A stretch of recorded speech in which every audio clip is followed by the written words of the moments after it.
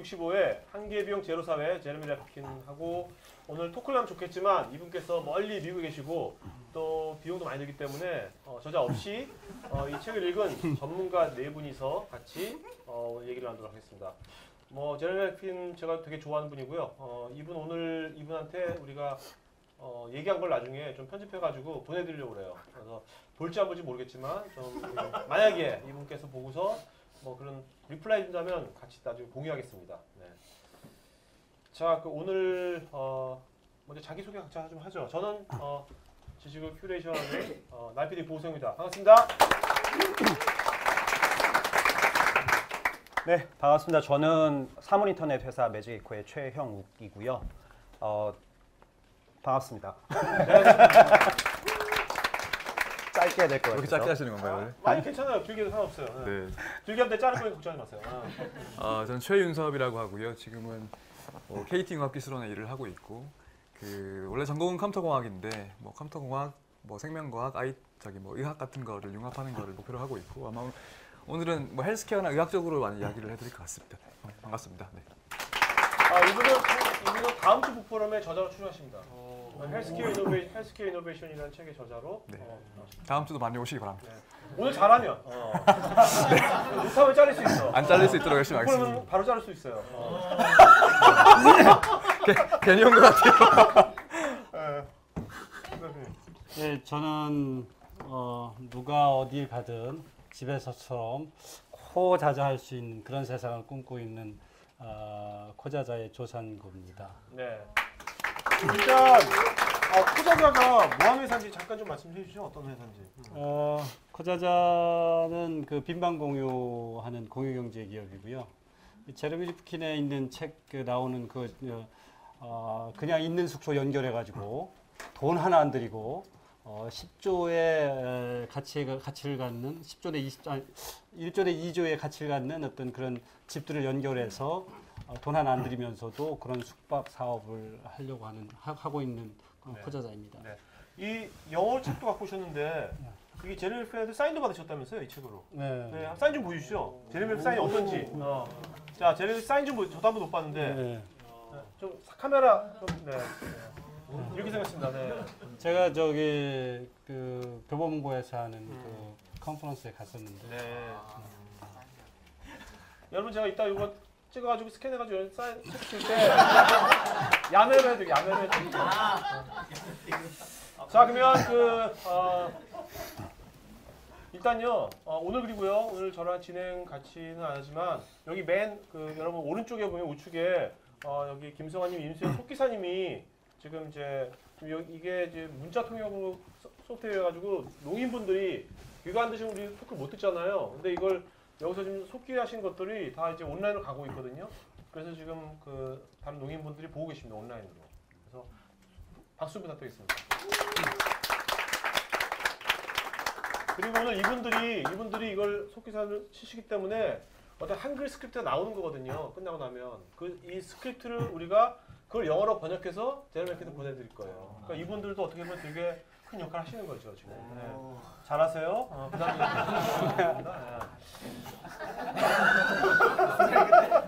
어, 자 그러면 이제 어, 들어가기 전에 제가 이제 어, 이게 북포럼에서 그때 3년째 했었거든요. 근데 이 소유종말이라는 책을 제가 2001년도에 읽었어요. 그때 이제 어, 2000 읽으면서 제가 어, 이런 지금 이런 사업을 제가 2002년부터 시작했는데 사업을 시작한 이유가 이 책 때문에 제가 시작하게 됐어요. 그래서 그런 얘기를 페이스북에 썼거든요. 이게 7월 달 썼는데 이때 여기 최용 씨가 이 최용 씨 포함해서 많은 사람들이 어, 여기다가 이제 댓글 단 거예요. 한 40여 명이 일을 반에 어, 나도 이거 되게 제레미 책을 읽고 감명받았다. 맨 끝에 이제 시문한 남편도 다 댓글 달았어요. 어. 그래서 뭐 해가지고 쫙 해가지고 그래서 제가 아, 이러지 마- 근데 이걸 그날 이게 월요 일요일 밤이었는데 월요일 날 아침에 우병현 씨 저분은 이제 조선경제 본부장이거든요. 저 사람이 이걸 본 거예요. 제 timeline에 댓글을 보고서 이분이 9월달에 이제 클라우드 쇼가 매년 해요 코엑스에서. 근데 클라우드 쇼에 이제 opening session에 그 opening talk를 누구한테 할까를 고민하고 있다가 이 댓글을 보고서 어 그래 제레미를 부르면 되겠구나 해가지고 이 사람이 어 그날 그 이- 월요일 날 아침에 기자한테 얘기해가지고 제레미한테 연락을 해라 이메일로 섭외를. 그래서 조선부 기자가 그 이메일 보내가지고 그날 2시에 월요일 2시에 제레미 레프킨이 섭외가 된 거예요. 예. 그래서 제레미 레프킨이 그래서 우리는 이제 8월 달에 우리 우리끼리 토크랑 부풀을 한 거예요. 어. 근데 최용 씨 나왔었죠. 그때 나왔었고 나 일단 여섯 명 정도 했었고요. 그 다음에 제레미 레프킨은 9월 8일날 코엑스에서 하는 그, 그 뭐야, 클라우드 쇼에 그 기조연설 했죠. 그 이분이. 그러니까 이게 참 이렇게 저, 제가 이걸 하면서 연결해석을 좀그 놀라운 게 제가 페이스북에 그냥 글 쓴 게 연결된 거잖아요. 그래서 그럼 이렇게 한 거니까 오늘 우리가 이제 얘기한 것도 모르겠어요. 지금 이제 나중에 되면 어떻게 또. 이것이 나비 효과가 될지는 모르겠습니다. 네. 자, 그럼 먼저 방금 complain 하셨어요. 네 뭐라고요? 우리 보고 짧게, 짧게 하라고 하라고 그래서. 아 이거는요 분위기 조성 분위기 조성 분위기 조성 자 그러면 지금부터 어, 각자 그 뭐야 문, 책에 읽은 문구 중에서 어, 좀 감명 깊은 거 하나씩 좀 우리가 각자 좀 읽어드릴게요 이건 저, 전데 뭐 짧게 하라니까 앞에만 좀 읽을게요 지금으로부터 반세기 후 우리의 손자 손녀들은 시장에서 대량으로 고용이 이루어졌던 시대를 전혀 믿을 수 없다는 듯이 되돌아볼 것이다. 마치 우리가 옛날에 노예제도와 농노제도를 믿을 수 없어 하는 것처럼 말이다. 그러니까 저는 이 말을 보면서 진짜로 지금 우리가 지금 자본주의 시대고 막 하고 있지만 이런 것이 지금은 어머 공유경제 연결 이것이 와닿지 않지만 이게 옛날에 그 농노 시대나 뭐 중세 봉건 시대도 산업 시대 가 이렇게 올 줄은 아무도 예상 못했을 거 아니에요. 지금 우리가 노예제 농노제도가 되게 이상한 것처럼 보이지만 그때는 당, 당연했거든요. 그런 것처럼 한 50년 뒤, 뭐 60년 뒤 그때쯤에는 사람들은 지금의 우리 현재 이 이런 우리의 이런 것들을 되게 보면 야 되게 원시적이었다. 뭐 되게 야만적이었다. 그런 말을 할 수도 있을지 모르겠다 하는 생각이 들었습니다. 네. 어떤 저는 자 일단 이 말은 누- 뭐였죠? 제가 이 인간 종이 살아남아 번창하려면 반드시 새로운 생활 방식을 도입해야 된다. 근데 이거는 보니까 그, 그, 그 바이오스피어 컨셔스니스라고 해서 생물권적 의식 뭐 이- 이런 얘기를 하는데 에, 그 제물킨이 저번에 그 conference에서 와서 얘기할 때 한국이 아, 이런 어떤 그 한국이 되게 이렇게 어떤 면에서 IT가 되게 개- 발, 발달했다고 이제 인식을 하고 있는데 그러면서 이렇게 스마트 어떤 society infrastructure를 가지고 소- smart society로 가야 된다고 얘기하면서 아, 그렇게 진화하는 거와 동시에 어, 이 사회가 어떻게 돼야 되느냐라는 얘기를 할 때 두 가지 단어를 얘기했어요. 첫 번째가 좀 더 개방적이어야 된다는 얘기를 하고 그 다음에 어, 그때 biosphere conscious 얘기를 한 것 같아요. 무슨 얘기냐면 생물권적 의식이라는 얘기거든요. 그러니까 여기 이전까지 자본주의에서 내가 돈을 벌어서 내가 뭔가를 사서 향유하고 이거예요. 소유하고. 그러니까 내 environment 이런 거 보는 게 아니고 나, 나 중심이었단 말이에요. 그렇게 해와서 이기적인 그런 어떤 어, 이기심을 막 어, 이렇게 조장을 해서 그게 이제 사람들이 뭔가를 만들고 해서 발전해 왔는데 그렇게 해 와서 보니까 환경은 안 좋아지고 커뮤니티는 무너지고 더 이상 이렇게 해서는 안 되겠다는 얘기거든요. 그러면서 이제 나를 위해서 내가 생존하기 위해서 어떻게 해야 되냐면 우리를 생각해야 되는 거예요. 그러니까 내가 뭔가를 막 추구해가지고 막 어, 어, 욕심을 내다 보면 옆에 사람이 죽으면 우리 사회가 죽어버리면 결국엔 자기 우리가 죽을 수밖에 없다는 거죠. 그러니까 그런 어떤 기본적인 생각을 얘기하는 것 같아요. 네. 그래서 이제 소유 대신에 공유 얘기가 나오고 그래서 저는 어, 바이오스피어 그 컨셔스니스라는 그런 그 단어로 대변되는 저 말. 그래서 지금까지 우리가 살아왔던 생활 방식, 생각, 가치관 이런 것들 리셋하고 우리 중심의 새로운 생각과 어, 접근이 돼야 된다는 것에 동의하기 때문에 이 말을 그러려면 이게 세상이 또 이렇게 연결돼 있으니까 그것이 가능한 거겠죠?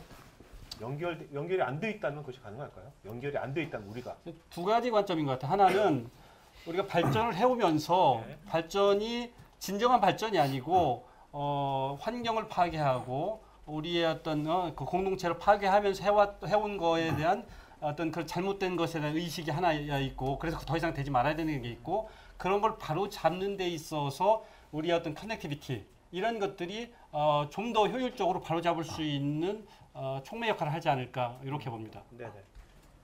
자, 제, 제가 골라온 문장인데요. 여기 이제 그 이제 책을 다 읽어 보시고 오신. 아니에요. 여기는 다 아무 안? 읽었어요. 네. 저 북부님들은 안 읽어요. 어. 네, 저도 이제 저도 이 책을 이제 이 프롬 참가를 하려고 이제 급 우리 막 얘기해도 돼. 몰라 몰라. 막 얘기해도 돼. 읽으면 막 얘기해도 2, 돼. 3일 동안 급 읽었는데요. 이게 이제 사실 서문 서문에 거의 한 두 2, 3페이지에 나오는 글입니다. 근데 이게 읽다 보면 이 책의 주제를 가장 한 문장으로 함축하고 있는 것 같아서 제가 골라왔고요. 어떤 문장이냐면 그 자본주의의 운영 논리는 성공에 성공에 의해서 실패하도록 설계되어 있다. 되게 약간 번역투의 문장인데 이 자본주의라고 하는 것이 그, 그 자체로서 어떤 모순을 가지고 있고 어떤 그 자본주의를 더 잘 만들려고 하다 보면 그게 반드시 실패로 이 귀결될 수밖에 없다는 그, 그런 문장인데요. 그러니까 이 책이 지금 강조하고 있는 것이 어떤 뭐 기술의 특히 기술의 발전에 의해서 어떤 그 생산성이 증가를 하고 뭐 비용 비용을 낮추고 고용을 더 창출하려고 하다 보면 그게 이제 그 극한까지 밀어붙이다 보면 완전 이제 그 어, 비용이 제로로 수렴하고 뭐 모든 게 공유되고 그러다 보니까 이제 원래 자본주의 자본주의를 더 이 굳건하게 만들려고 하는 노력들이 결국엔 자본주의를 붕괴시킨다는 거 어떤 역설을 담고 있거든요. 그래서 그런 것을 네, 골라왔습니다. 네. 그러니까 뭔가 어떤 그 어떤 욕심, 탐욕 그걸 갖는데 그것이 나중에 결과적으로는 그것이 어떻게 보면 사회에 어떤 좋은 것이 될 수도 역사적이지만 될 수도 있다는 그런 얘기인가요? 어, 저는 이제 예를 들면 또 기업이나 뭐 개인도 그런 것 같은데 보통 어떤 사람, 어떤 사람이나 기업이 어떤 장점으로 되게 뭐 칭송받거나 또 성공 요인으로 꼽히는 것들이 나중에 그거를 대- 계속 더 뭐 특화되고 더 밀어붙이다 보면 오히려 그냥 그, 그 장점이었던 것이 나중에 또 실패의 요인이 되는 그런 그런 류의 걸로 해석을 하는 네, 것 같고 되게 재밌는 논리인데요. 네. 자본주의가 끝나간다라고 얘기하는 거의 말 논리가 어떠냐면 음. 자본주의가 극단적으로 진화해서 다 했단 얘기예요. 네. 그러니까 어찌 보면 자본 공유경제라는 건 자본주의의 진화의 연속인 거예요. 음. 다만 색깔만 바뀌는 거죠. 음. 그래서 만약 예를 들어서 어자그뭐 공유 경제가 자본주의를 대체한 것이라는 어 그게 아니고 실은 어, 자본주의가 가는 것 중에 자본주의 꼬꾸라지게 돼 있는데 공유 경제가 바트를 받아서 지속 성장이 가능하게 만든다. 이러니까 어찌 보면 되게 이렇게 논리를 거, 거, 거역할 수 없는 그런 네. 어, 강한 어떤 그런 어, 논지가 있는 것 같아요. 그러니까 저는 이제 뭐 저는 이제 자본주의를 우리 뭐 각자 관점이니까 자본주의를 완전히 대체한다기보다 이 협력적 공유 사회가 또 하나의 또 뭔가처럼 나오고 자본주의도 있고 뭐또뭐 이렇게 정부도 있고 시장도 있고 이렇게 뭔가 같이 상존하지 않을까 뭐 저는 이제 그런 것도 느꼈는데 뭐 그것들은 여러분들 이제 각자의 관점이니까 책 읽으면서 한번 느껴보시고요. 하여튼 근데 여기서 궁금한 게 여러분들 여기서 자 자본주의가 앞으로 자본주의가 변할 것 같다고 생각하시는 분 손 들어보세요. 자본주의는 이대로 계속해서 더 계속 이- 이대로 계속 유지할 것 같다 손 들어 보세요. 뭐 여기는 거의 어, 변화될 것 같다. 근데 변화 변화인데 자본주의가 좋게 변화될 것 같다 손 들어 보세요. 좋게 변화될 것 같다. 뭔가 어떤 형태로 좋게 변화될 것 같다. 나쁘게 더 나빠질 것 같다 세상은. 뭐야 안 된 사람 뭐야? 모르겠다. 오케이 네 반반이네요. 네. 자 질문이 좀 정확하지 않아서. 알았습니다. 자, 질문을 어떻게 해야 될까요? 그러면 질문을 어떻게 써야 돼요? 질, 아, 질문을 어떻게 써야 돼? 질문을. 아, 질문 어. 제거 하고 하면 안 될까요? 오케이 하고 네. 하세요. 하고 하고 질문해 보세요 한번. 네. 비교해 봅시다 우리 한번 어떻게. 네, 아. 뭐 저는 제거 하려고 기다리는데 오케이, 앞에서 오케이. 너무 많이 네. 저희 지금 오늘 하려고 했던 얘기를 지금 다 하셨어요 지금. 알았어요. 네. 어, 제가 뽑은 얘기는 사실 앞에서 하신 것들을 어쩌면 요약한 얘기 같은데요. 극도의 생산성이 주도하는 글로벌 네트워크가 모든 사람과 사물을 연결함으로써 우리는 더욱 빠르게 재화와 서비스가 거의 무료인 수치대로 이동을 하고 그와 더불어 자본주의는 다음 반세기에 걸쳐 반세기가 중요합니다. 쇠퇴하며 협력적 공- 공유 사회가 경제 생활을 조직하는데 지배적인 모델로 자리 잡는다. 제가 이제 이거를 택한 이유는 이 책의 주제인 것 같아요, 이게. 맞아요. 지금 이 말이 상당히 앞쪽에 나오는데 전체 내용을 사실 다 견인하는 이야기고요. 이 책이 읽어 본인이 제일 잘났다는 거네. 좋은 문제 제일 잘 뽑았다. 그렇죠. 네, 제가 기다리고 있었고요. 기다리고 그런 식으로 이제 디스를 하셔가지고 네. 어떻게 모면을 해보시려고. 네. 그그 진실하니까. 네, 이, 이 책이 제레미 리프킨이 그동안 쓴 책들을 좀 이렇게 종합을 한 것 같아요. 저는 느낌이. 그러니까 뭐 엔트로피 때부터 소유의 종말, 그다음에 공감의 시대, 얼마 전에 했던 제3차 산업혁명까지도 사실은 거기서는 내게 이렇게 모호하게 썼던 것들을 이 한 권에다가 사실 다 엮었어요.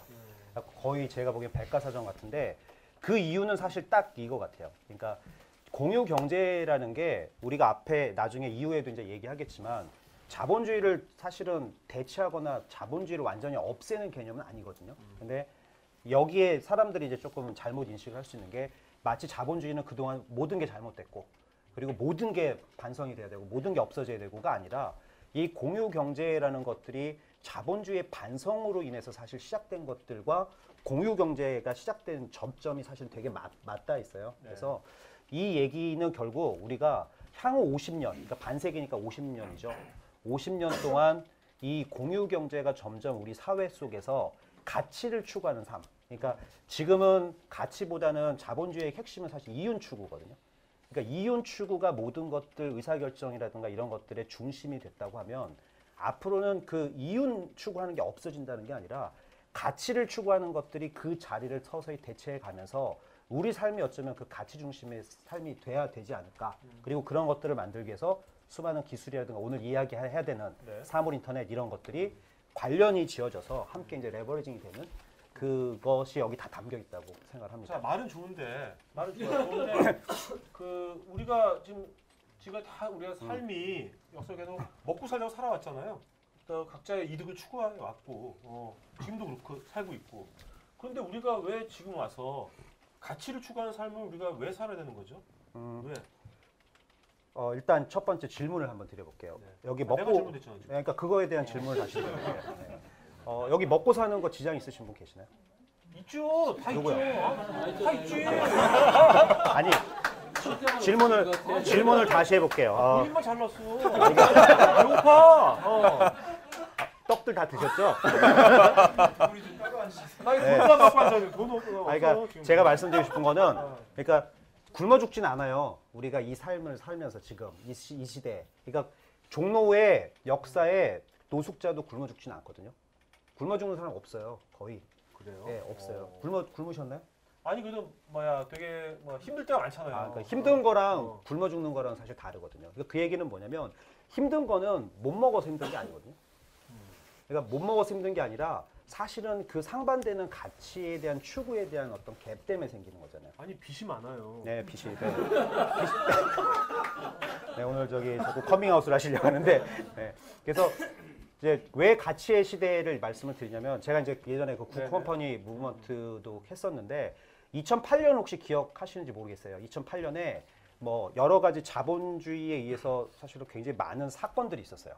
그러니까 소위 말하는 월가의 폴, 금융위기라든지. 금융위기 이런 것들이 2007년, 2008년에 굉장히 많이 있었는데 그때 똑같이 미국이나 한국이나 공통적으로 이 자본주의가 그동안 추구했던 이익 중심적인 이 가치관이 잘못됐다는 걸 굉장히 많은 사람들이 깨달아요. 그래서 지금 더 이상 월가가 더 이상 선망받는 직업도 아니고 선망받는 곳도 아니고 그쪽으로부터 이제 회귀하려고 하는 것들이 이제 자본주의 반성 때문에 생각 생기는 뭐 그 뭐 깨어 있는 자본주의 이익을 추구하기 위해서 인간의 본성이라든가 인간 자체를 사실은 희생을 시킨 거죠. 아니 근데 망했기 때문에 네. 망할 조짐이 보이기 때문에 사람들이 잘못했다고 깨닫는 건지 저기 그러니까 네, 리만 사태 때문에 그런 게 없었다면은 네, 사람들이 못 깨닫았다는 맞습니다. 얘기잖아요. 네, 맞습니다. 그렇다면 계속 성장하고 있었으면은 맞습니다. 아무도 깨닫지 않았을 거 아니에요. 맞습니다. 성장하지 않는 게 잘못됐다 이렇게 생각하는 것이 네. 근본적으로 뭐가 잘못됐다 이렇게 사람들이 깨달은 건 아니잖아요. 그건 아니고요. 그러니까 뭐가 잘못됐다고 생각했냐면 그동안 그것만 바라보고 달렸죠. 굉장히 많은 것들이. 그런데 달리고 나서 막상 일이 터졌을 때 뒤돌아보니 그것들이 만들어 놓은 것들이 너무나 큰 상처 자국들밖에 없는 거예요. 그러니까 자본주의라는 게 항상 항상 넘버 원은 이익 추구거든요. 주주의 이익의 극대화. 그게 자본주의에 있어서 가장 기저에 있는 사실 핵심 철학인데 그것들을 추구하다 보니까 사실은 이제 그 리만 사태나 뭐 이런 것들이 다 동시에 일어났고 그래서 그 당시에 만들었던 영화들이 뭐 설국열차나 이런 것들이 다 사실은 그때가 메타포예요. 그 굉장히 앞과 뒤에 갭이 큰데 그 갭에 대한 반성으로 생긴 것들이 설국열차라든가 뭐 업사이드 다운이라든가 이런 영화들이 다 그런 격차에 대한 반성으로부터 시작이 되거든요. 그래서 자본주의를 되게 같은데 자, 그건 이제 여기까지 네. 여기까지 좀 하고요. 끝나고 남으시죠. 네. 네네 네. 자 이제 다, 네. 계속 그런 얘기 할 거니까요 우리가. 그 제가 조금만 더. 네네. 어, 어떻게 됐냐면 이제 쇼크가 온 거예요. 리만 사태 때문에. 쇼크가 왔고 그 쇼크의 원인이 실은 내가 아니었어요. 그 월가의 탐욕 때문에 그렇게 돼 있던 거예요. 그러면서 그 상황에 대해서 한번 자각을 하기 시작한 거예요. 자각이 몇 사람이 아니고 집단적인 자각.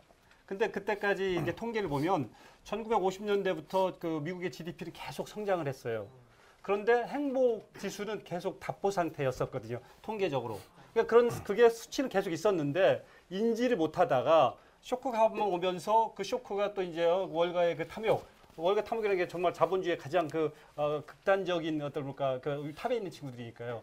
그러면서 이제 그 자각하기 시작을 하면서 야 이게 내가 돈 가지고 뭔가 그동안은 내가 돈을 많이 벌어서 그걸 뭐 더 누리고 이게 행복인 줄 알았는데 그게 아닌가 보다라고 생각을 해서 돌아보니 어, 어 다른 돈 말고의 가치가 참 중요하구나 행복에 그러면 저기 environment 중요하고 social 가치도 중요하고 이- 이렇게 된 거거든요. 그러면서 지금 보면 어 공유 경제 그 지금 그 제레미 리프킨은 share economy하고 collaborative commons를 거의 동일시해요. 그런데 조금 다르다면 뭐냐면 어, ownership 중심의 자본주의가 이제 공유경제로 바뀌면서 왜 그러면 collaborative commons로 쓰냐? 거기에는 여전히 경제라는 그런 concept이 들어가 있는데 이전의 경제는 돈으로 움직이는 게 일반적인 자본주의에서. 근데 이제는 돈 말고도 돈 외에 다른 가치들, 어, 사회적인 가치, 환경적인 가치 이런 것들이 경제를 움직이는 동인으로서 중요하게 된 거예요.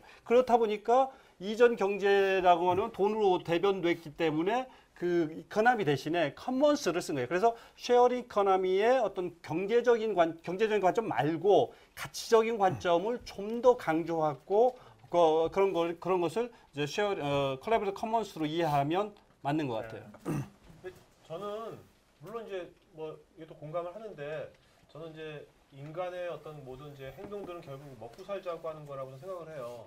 그래서 지금 이제 세상이 자꾸 연결돼 있기 때문에 연결되고 한계 비용 원가가 자꾸 거의 제로로 수렴하니까 이런 거를 이제는 잘 이용하는 게 되게 생존에 유리하고 경쟁에 유리하거든요. 그래서 저는 그래서 선한 의도가 아니라 가치 추구가 아니라 그런 걸 하다 보니까 그게 자연스럽게 뭔가 가치 추구가 되는 것처럼 보이는 거죠. 그렇게 살다 보니까. 난 이제 그것이 어떻게 보면 더 큰 어, 우리 변화의 동인이 아닐까. 저는 이제 뭐 그렇게 생각을 해요. 예. 그러니까 우리도 지금 여기 모인 게 서로 몰랐는데 모이는 거잖아요. 과연 우리가 과연 그럼 요새 재능 기부, 뭐 나눔, 공유 이런 말이 10년 전에 아무도 안 하다가 요즘 엄청나게 많이 하는데 그럼 사람들 착해졌느냐 지금? 아니잖아요. 예. 어, 이거는 저는 뭔가 이런 것이 이렇게 하는 것이 우리한테 엄청나게 유리한 것이 아닐까. 점점 점점. 그것이 무엇인지는 잘 모르겠지만 오늘 이제 그런 얘기를 좀 했으면 제가. 무엇인지 가르쳐 드릴게요. 네네네. 학생들이 아니면. 학생들이 10만 원을 10만 원 받나? 그, 그 저기 아- 아빠한테 돈을 받아 가지고 용돈을 받아 가지고 어 지하철 바로 내리면 커피 마시는 커피가 뭐 5천 원이에요. 네. 근데 그 어느 커피숍은 막 골목골목 가가지고 한참 가가지고 뭐 허름한 커피숍이야. 네네네. 가격도 5천 원이야. 네. 맛도 더 맛있지도 않아. 그럼 생각해봐요. 바보 아니야 바보. 음. 어? 학생들이 돈 많은 사람이 뭐, 돈, 뭐 예를 들어서 뭐 다른 이유 때문에 몰라, 네네. 몰라도 음. 거기에 뭐가 붙냐면 돈의 어떤 그게 아니고 거기에 공정 무역 커피라는 게 붙는 거예요. 네. 경제적인 논리가 아니고 가치적인 논리가 이미 학생들 어 정말 어 돈이 어, 궁하고 오히려 더 비싸. 그런데 어, 어, 에너지를 써가면서 가서 그렇게 한단 말이에요. 왜 그러냔 말이에요. 왜? 어? 착해져서? 뭐 아니면 어 그렇잖아요. 근데 이전에 사람들 더 탐욕스러워졌는데 어 다른 반면에서는 그런 어, 다른 가치를 추구하는 게 있다고요. 네. 여기에는 뭐가 있냐면 제가 볼 때는 그 이기적 유전자에 보면 결국에는 인류의 생존권이 이제 스테이크에 온 거예요. 네. 더 이상 이렇게 어, 해서는 안 된다는 어, 그것 때문에 유전자가 시키는 거야. 인류의 유전자. 그러니까 환경 이런 것들이 더 이상 이렇게 되면 안 된다는 어떤 어, 인류의 집단적인 그, 그 집단의 DNA에 네. 본성이 있다고 그러는 거예요. 네. 그런 방어 본능 때문에 예, 환경을 어떤 그 돈, 돈만이 아니고 환경적인 가치 이런 거를 강조하고 그런 것들을 위해서 경제적인 가치를 어, 희생하는 그 이유에 그 이유에 있다는 거예요. 헬스케어 전문가로서 이게 DNA 맞습니까? 이런 거 어떻게 생각하세요? 제가 생- 전문가. 생물학 박사인데요. 네, 생라 박사 그래. 오케이. 그 글쎄요. 그- 아, 뭐 이기적 유전자 같은 보면 이제 그 네, 전반적으로 만든 것 같습니다. 네, 음. 그러니까 이게 어떤 뭐 DNA라고 표현하기 그렇지만 일단 음. 이 어떤 그 우리 어떤 종을 종속하기 위한 또 본능 같은 거. 아, 물론 그것도 네. 본능이다. 그렇죠. 네 그렇게 해석- 해석할 수 있을 것. 같습니다. 네, 네, 네. 네.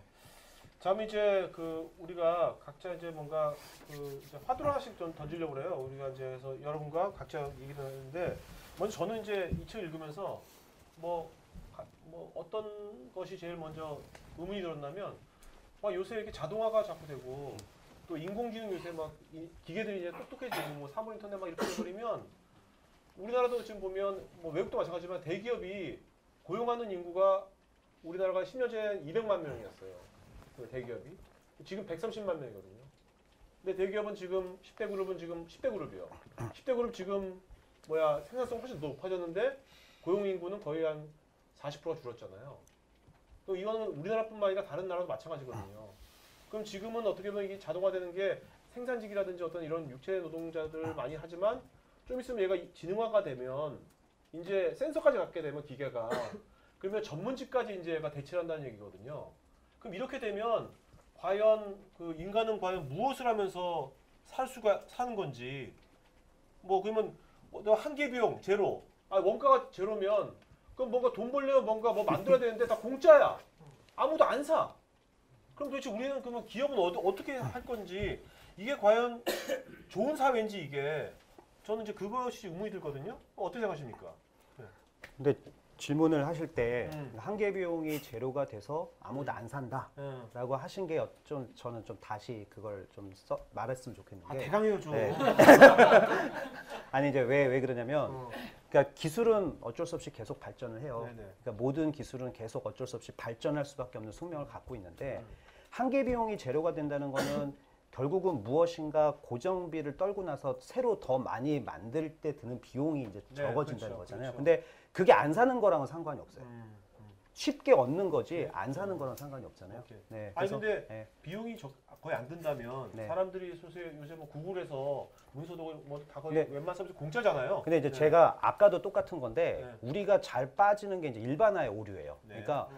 어떤 뭔가를 한가를 딱 얘기하면 그게 마치 모든 거를 다 대변해야 된다고 생각을 해요. 그러니까 착한 사람이 업- 많아져야 되는 착한 사, 착한 사회가 됐다면 모든 사람이 착해야 되고 음. 좋은 사회가 됐다면 모든 게 좋아야 되고 이렇게 생각을 하는데 사실 그렇지 않거든요. 네네. 지금 현재 사회는 사실 그런 다양성들이 공존화가 돼 있고 계속 그게 극대화되는 건데 결국 저는 한계 비용 제로가 된다 하더라도 그러면 이제 이걸 만드는데 싸졌으니까 누가 사겠느냐가 아니라 정말 살 수 있는 옵션들이 더 많아지는 거죠. 만들 수 있는 옵션도 더 많아지고 그걸 내가 다양성, 만들 수 있는 다양성? 그렇죠. 내가 만들 수 있는 찬스도 사실 기회도 더 많아지는 거고. 자 그러면 저런 건 어떻게? 아까 첫 번째 제그 궁금했던 거, 그러니까 뭐그 자동화, 지능화가 되면 우리들은 그러면 어디서 고용을 자꾸 줄어드는데 그럼 어떻게 되는 거지? 이제 그게 그게 되기 때문에 고피님이 먹고 사시는 거죠. 저 제가 네. 또 답을 하겠습니다. 네네. 나 지금 몸 빚만 자. 빚만 타니까 지금. 이런 거예요. 노동을 하고 있었는데 노동을 할 수 있는 일자리가 없어진단 말이에요. 네. 또 노동 관점에서는 노동이 없어지지만 실은 인간의 그 활동은 노동이라는 게 있고 머리로 하는 게 있고 여러 가지가 근데 있어요. 머리로 하는 것도 지금 자꾸 기계가 네, 대체하니까. 그러, 그러면 머리로 하는 것도 brain으로 쓰는 게 있고 spiritual한 게 있는 거예요. 네. 그게 스펙트럼이 있는 거예요. 그래서 한쪽이 줄면 어, 다른 쪽이 늘어나게 돼 있어요. 그런데 이쪽 관점으로 보면 이게 줄니까 문제지만 전체적으로 보는 보면은 어 그런 인간의 activity는 똑같다고 보는 거예요. 다만 이런 것들이 어떤 그 과도기로 변할 때 너무 급격하게 변할 혼란스러울 수 있- 있는데 야, 그거를 똑같이 이제 공유 경제에서 있는 논란하고 대비시키면 또 그, 그 이렇게 이해가 될 거예요. 뭐냐면 차를 한 대를 공유를 잘하면 어 아홉 대에서 20대를 대치를 해요. 네. 자, 그러니 기존의 경제에서는 어 이게 차를 많이 팔아서 이렇게 해야 공장도 돌아가고 이럴 거 아니에요. 그런데 이게 20대 팔리게 한 대밖에 안 팔려. 그럼 어떻게 되냐? 이게 경제에 망가진다. 네. 어, 그러니까 이 공유 경제 했다가 리세션 온다 이렇게 얘기한단 말이에요. 어, 당연히 그렇게 될 것 같잖아요. 이 옛날 관점으로 보면. 그렇죠. 자, 그러면 거꾸로 사람들이 20대 살 거를 어, 똑같이 차 쓰는 걸 똑같이 쓰면서 10대 가격, 10대는 어, 어차피 이제 한 대를 공유하더라도 비용 드니까 열 대만큼의 비용을 아낀단 말이에요, 사람들이. 그럼 아끼면 그거 가지고 뭐 할 거냐 이거죠. 그걸 뭐 하냐? 옛날에 뭐 차 사고 뭐 쳤을 때부터 차 사가지고 어, 낭비하고 이- 이게 아니고 어 이것저것 다른 걸 할 거란 말이에요. 그 대표적으로 여행하는 것. 어? 그다음에 이제 공유가 되면 아까 얘기한 것처럼 옵션이 많아져. 어? 옛날에 택시를 뭐 모범 택시, 일반 택시밖에 없는데 택시가 천 가지야. 요트도 뭐 30분에 타고 이럴 수 있어요. 이래요. 그러면 어떻게 되냐면 기존의 경제는 정말 경제적이에요. 아주 이게 어, 효율화돼 돼요. 그리고 여기서 남는 잉여의 자본이나 이런 거는 다른 쪽으로 가요. 그런데 그런 건 뭐냐면 여행 아니면 뭐 다른 쪽으로 이렇게 하면서 이전에는 자, mass 그러니까 mass 어, hyper 어, production consumption 해가지고 sustainable이라는 그, 그, 그 환경을 망치는데 새로 일어나는 경제는 어떻게 되냐면 서스테이너블해요. 환경 친화경 여행이는 그렇잖아요. 그 다음에 이게 이 공유가 여러 가지가 이제 비 돈을 아낀 걸로 가지고 공유의 옵션이 많아지면 사람들이 원래 나는 세상을 살면서 이거 이것밖에 못했는데 선택할 수 있는 쉽게 접근할 수 있는 게 많아진 거예요. 그래서 소비가 다른 쪽으로 더 넓어져요. 그렇잖아요. 왜냐면 난 자동차만 자동차를 사, 어, 타도 뭐 차 한 대 사가지고 50, 10년 쓰고 이렇게 했는데 그렇게 보면 전체적으로 보면 공유 경제 때문에 기존 경제는 더 효율화되고 새로운 어떤 서스테이너블한 환경 친화적인 경제가 더 커지고 사람들의 어떤 그 삶이 풍요로워져서 그러니까 훨씬 더 커진다는 얘기예요. 그러니까 그 조 대표님 지금 자리- 오케이. 자리가 이 일자리가 나빠 일자리가 줄지만 오히려 이 노동 일자리는 줄지만 다른 어떤 스피리추얼이나 정신적 이런 것들이 더 늘어나서 좀 더 풍요로운 세상이 될 거라고 그러니까 생각합니다. 조 대표님 미래에 대해서 그러면 긍정적으로 보시는 겁니까? 대단히요. 긍정 대단히 어떻게 보세요? 저도 약간 그 덧붙여 저도 말 좀 해야 될 것 같은데 말은요 알아서 하는 거야 알아서. 네. 그 타이밍이야. 네. 토큰 타이밍. 또 오케이. 길게 좀 얘기하겠습니다. 제가 이제 헬스케어 쪽에서 한번 요 지금 질문이 어떤 거냐고 하면 자동화나 인공지능 때문에 어떤 그 인간의 본연의 역할이 줄어들지 않느냐 이런 질문이었거든요. 그래서 산업화 시대 때 어떤 자동화 같은 뭐 그 기계가 생기고 뭐 이럴 때 제일 큰, 큰 변화가 뭐였냐고 하면 노동자들이 직업을 잃은 거였는데요. 그 지금 변화가 기술 혁신의 그 되게 큰 되게 무서운 점이라 그럴까요? 그게 뭐냐고 하면 그 지식 근로자들도 이제 직업을 잃는다는 겁니다. 그래서 원래 예를 들면 어떤 뭐 전문가 소위 전문가라고 하는 머리를 써가지고 하는 분들의 역할도 뭐 네. 컴퓨터나 인공지능이 대체할 거라고 보는 것들인데요. 그중 가장 큰 게 뭐냐면 이제 저희 헬스케어 쪽에 보면 이렇게 의사들을 컴퓨터가 대체를 하는 겁니다. 그래서 약사는 어때요? 주로 의사를 이제 의사 의사가 더 복잡한 판단을 하니까요. 아, 네. 그걸 두고 더 얘기를 하는데. 네, 그래서 그, 그 예를 들면 이제 뭐 IBM 왓슨이라고 하는 슈퍼컴퓨터 많이 들어보셨을 텐데 그런 것들이 지금 이제 미국에서는 그 실제 뭐 MD 앤더슨 뭐 이런 데 들어가서 이제 암 환자들을 진단을 해 가지고 뭐 최적의 치료법을 내놓고 이런 것들을 하거든요. 그래서 그걸 보면 이제 되게 올해 올해 그 6월 달에 미국 뭐 암학회 같은 데 발표한 걸 보면 그 의사 인간 의사의 판단에 거의 80%에 육박하는 확률로 판단을 합니다. 그래서 이게 와. 뭐 지금은 그, 뭐 지금 당장 그렇, 그렇고 앞으로 더 가, 그 가면 더 발전이 될 텐데 그러면 이제 이게 과연 인간 의- 의사와 거의 비슷하게 그 디지털 메이킹을 했을 때가 되면 의사들이 과연 직업을 잃어버릴 거냐는 걸 봤을 때 사실은 그렇진 않을 거라는 것이 지금 뭐 얘기를 하는 것들이고요. 그래서 뭐 의사가 잘할 수 있는 부분도 있고 컴퓨터가 잘할 수 있는 부분도 있는데 결국엔 그게 어떤 아주 단순한 뭐 환자를 24시간 모니터링을 하고 뭐, 디스, 뭐 데이터 해석을 하고 그런 것들은 이제 컴퓨터가 점차 맡게 되고 아니면 이제 의사 인간만이 할 수 있는 어떤 가치 판단이나 최종적인 의사 결정이나 뭐 어떤 창의력이 필요한 부분들 그런 것들은 결국에 아까 말씀하셨듯이 의사의 본연의 역할이 더 강조가 되지 않을까. 그 지금 사실 그 저는 이제 암 같은 걸 전공을 하는 사람인데 그 지금 뭐 암 걸려가지고 병원에 가셔보면 종양내과 쌤, 쌤들이 하루에 막 많이 보시는 분은 뭐 160명 이렇게 보시거든요 하루에 환자들을. 그래서 그게 이제 컴퓨터 우리가 내비 운전 운전할 때 내비를 보- 보면 좀 빨리 가듯이 이제 그런 뭐 그 clinical decision 뭐, 서, 뭐 supporting system 이렇게 얘기를 하는데 그런 것들 도움을 받으면 본연의 역할을 더 잘할 수 있는 그러니까 우리가 좀 인간 대 인간으로 더 얘기를 많이 하고 뭐 eye contact도 많이 하고 뭐 그런 그런 어떤 인간의 역할 그러니까 본연의 역할을 더 강조할 수 있는. 그래서 그 최근에 이제 요 책에도 나옵니다만은 그뭐 MIT 교수님이 쓰신 그 기계와의 경쟁이라는 책이 있습니다. 그래서 약간 비슷한 내용들인데 그 책의 결론이 이제 뭐냐면 그 어, 기계 때문에 인간의 직업을 다 잃지 잃을 것이 걱정하는 게 지금 생각들인데 결국에는 우리가 경쟁이 아니라 협력할 수 있다. 이런- 이게 결론이거든요. 그래서 네. 어, 그런 쪽으로 발전이 되면 아까 말씀하셨듯이 좀더 네. 긍정, 긍정적으로 가지 않을까 네, 네. 보고 있습니다. 네. 자 그러면 이제 여기 유일한 직업이라 하더라도 방금 말씀하셨던 내용에 따르면 그 직업이 요구하는 어떤 자질 혹은 어떤 필요함 네, 이런 네. 것들은 역할이 좀 많이 다르지 않나요? 방금 말씀하셨던데 의사가 네, 네. 어떤 판단이라든지 진단을 컴퓨터나 인공지능에서 많이 의존을 하게 된다면 의사가 가져야 할 어떤 자질이랄까 이런 것들은 현재 우리가 판단한 것 그럴 것도 같습니다. 네. 같은데. 그래서 그 방송이라서 제가 말을 마- 많이 못하게.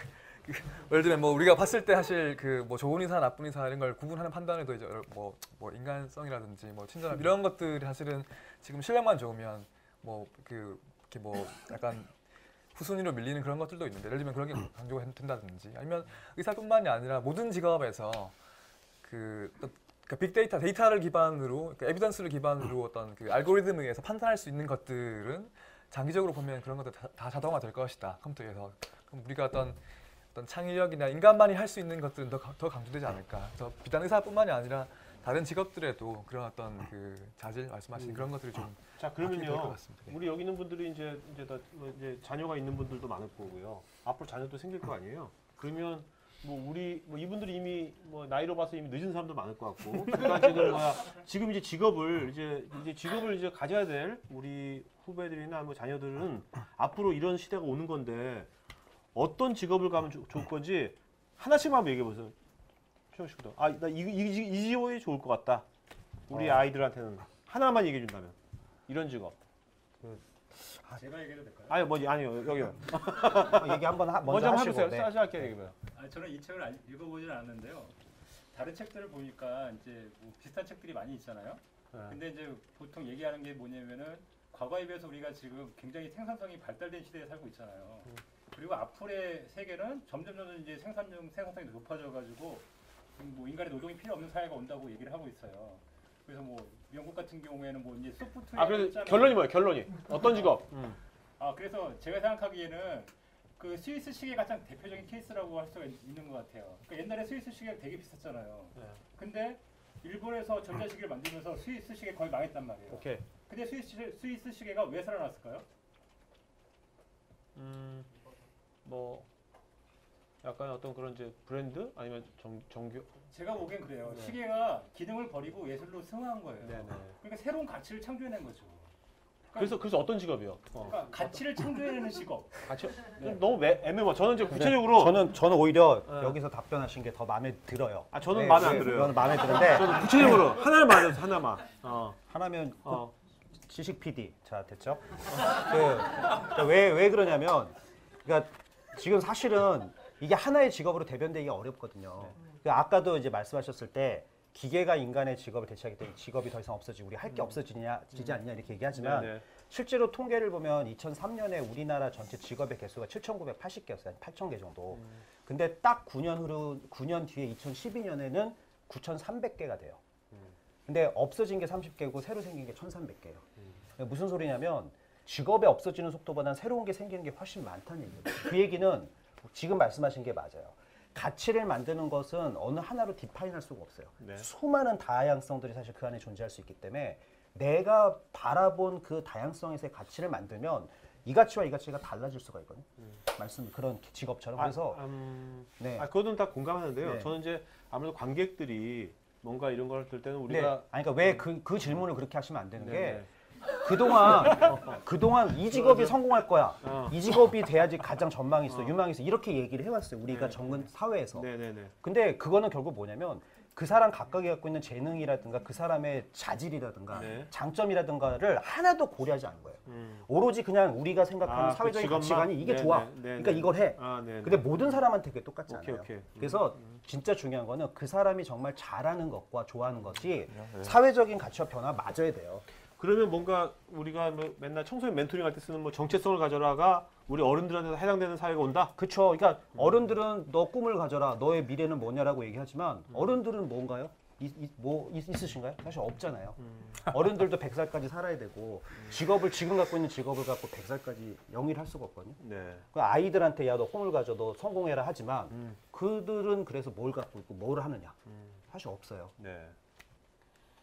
오케이. 자 그러면 근데 이 책의 내용과 상관이 없는 얘기를 우리가 자꾸 하는 것 같아요. 아니 근데 그 지금 저는 이제 또 하나 궁금한 게 돈 있잖아요. 지금 네. 자본주의에서 돈이 최고잖아요.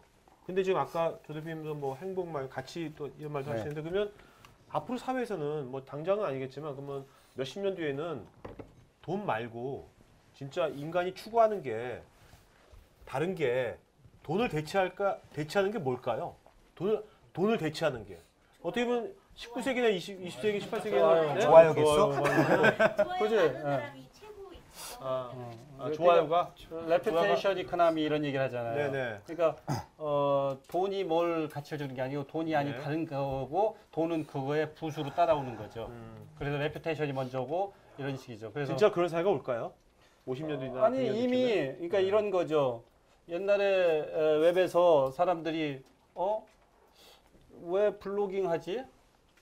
아니 돈도 안 되는데 음. 돈도 안 주는데 자기가 뭐, 뭐 무슨 작업 막 해가지고 슬라이드 쉐어 단나에서 이거 쫙 올려놔 너 돈도 안 주는데 그래서 나온 얘기가 그때 그 당시는 왜 사람들이 참여하지 그러면서 이제 그 참여의 어떤 가치가 뭐 자, 그 자기가 자기 표현을 통해서 자존감으로 뭐 이런 얘기를 했는데 네. 그런 걸 통틀어서 second money라고 얘기했어요. 왜냐하면 옛날에 가치의 그 기준이 돈이었으니까. 음, 근데 이제 가면 갈수록 그런 것들이 대두되고 있는 거거든요. 네. 어, 그렇다고 봤을 때는 어, 분명히 뭐 그게 어, 어, 자르비 리켄지 뭐 그래서 뭐 2050년도에 뭐 공유경제 먼저 앞선다 이런 얘기 한 게 이제 timeframe이 좀 조, 조정이 되긴 하더라도 음, 그런 흐름으로 가는 건 맞는 것 같고요. 음, 그 나는 아까 질문한 거에 대한 답을 좀 하겠습니다. 네, 네. 그 어, 저는 제 아들이 그 컴퓨터 컴, computer scientist가 되길 바래요. 일단 당장의 직업은 네. 그, 그 직업이 무슨 어떻게 바뀔지 모르지만 그게 영원하지 않을 거라고 보고 하지만 어, 세상이 지금 어, 테크놀로지가 어, 세상을 rule하고 네. 소프트웨어가 테크놀로지 rule하는 상황에서 네. 어, 시작하는 첫 번째 career는 컴퓨터 사이언스였으면 좋겠고요. 그런데 그 컴퓨터 사이언스지만 사색하는 그 다음에 어, 배려하는 이 두 가지가 있어야 다른 그런 기능들이 아름답게 다른 어떤 직업으로 발전할 수 있을 것 같아요. 네. 사색과 배려. 아, 그렇죠. 네. 그래 저는 그렇게 생각해요. 네. 자, 그러면 뭐 이제 조 대표님은 이철 보면서 뭐 어떤 어, 의문이라든지 뭔가 뭐 화두가 든게 어떤 게 네, 있었습니까? 저는 이 책이 좀 네. 생뚱맞다는 생각이 들어요. 음, 어, 일단은 2050 그래서 한 300년 이렇게 막 지금 지금 오늘날 우리가 이렇게 에, 그 누리는 어떤 지금 어떤 발전이나 이런 것들이 자본주의의 결과물인데 몇 가지 쭉쭉 얘기하고 어, 2050년에는 뭐 공유경제 아니면 뭐 콜라보티 커먼스가 자본주의를 앞선다고 얘기를 하거든요. 그래서 이 논리를 이 책에서 얘기하는 논리로 보면 너무 이렇게 갑자기 탁 던진 것 같은 느낌이 들어요. 네. 그런데 무시할 수 없는 게 그 소희의 종말의 책을 보면 10년 2000년도에 쓴 책인데 그 책에 어, 어, 몇십 년 후에 이렇게 보니까 10년 후에 이렇게 보니까 현실이 돼가고 있는 거예요. 음, 그러니까 무시를 못 하는 거야. 어? 그래서 이제 제 질문은 여러분 어떻게 생각하느냐. 이게 너무 이 미래학자가 좀 대충 아, 금세기 말쯤 아니면 뭐 좀 이렇게 좀 누구를 뜨시도 딱 어? 시간을 딱 어? 하기도 하고 네. 어, 뭐 이- 이런 게 너무나 급진적인 어떤 그런 논지가 아닌가 싶어서 어, 여러분이 어떻게 그걸 어, 여러분은 그거를 얼마나 어? 이렇게 설득력 있게 받아들이는지 음, 어, 그러면 그 이유는 뭐고 네네. 전체 얘기를 했고 음. 아니라고 하면 정말 생뚱맞다라고 이렇게 생각하면 음. 어, 왜 그런지 음. 그게 좀 궁금해요. 네. 일단은 그 제레미 리프킨이 저는 쓴 그 책 들 중에 안 맞는 것도 있어요. 그러니까 어, 뭐 왜? 예, 육식의 종말이라든가 뭐 유로피안 드림 같은 거 보면 네. 하나도 안 맞아요. 내 생각에는 인간적인 면을 풍기기 그러니까- 위해서 일부러 그런 것 같아요. 네, 그러니까 결국 뭐냐면 이 책에 있는 것도 꼭 맞는다 안 맞는다를 떠나서 음. 그러니까 맞을 수도 있겠죠. 근데 저는 오히려 이제 거기서 봐야 되는 게 자본주의를 이 사람이 얘기한 게 정말 자본주의를 대체하고 없애기 때문에 경고를 하기 위해서 썼다기보다는 그만큼 사실 이제 의미가 있다라고 저는 생각을 해요. 그러니까 뭐 제가 사실 골랐던 것도 가 비슷한 거였거든요. 자본주의와 공유 경제가 사실은 상반되거나 대치되는 개념이 전혀 아니거든요. 네. 근데 왜 그렇게 썼을까? 그러면 결국 저는 이제 그거를 그냥 자본주의의 목적과 공유 경제의 목적으로 대비를 했으면 좋겠어요. 그러니까 자본주의라는 그 structure 전체와 공유 경제라는 structure를 이렇게 대비하면 우리가 생각하기에 전혀 비교가 안 되거든요. 근데 공유 경제가 추구하는 것과 자본주의가 추구하는 것의 대비는 사실 가능해요.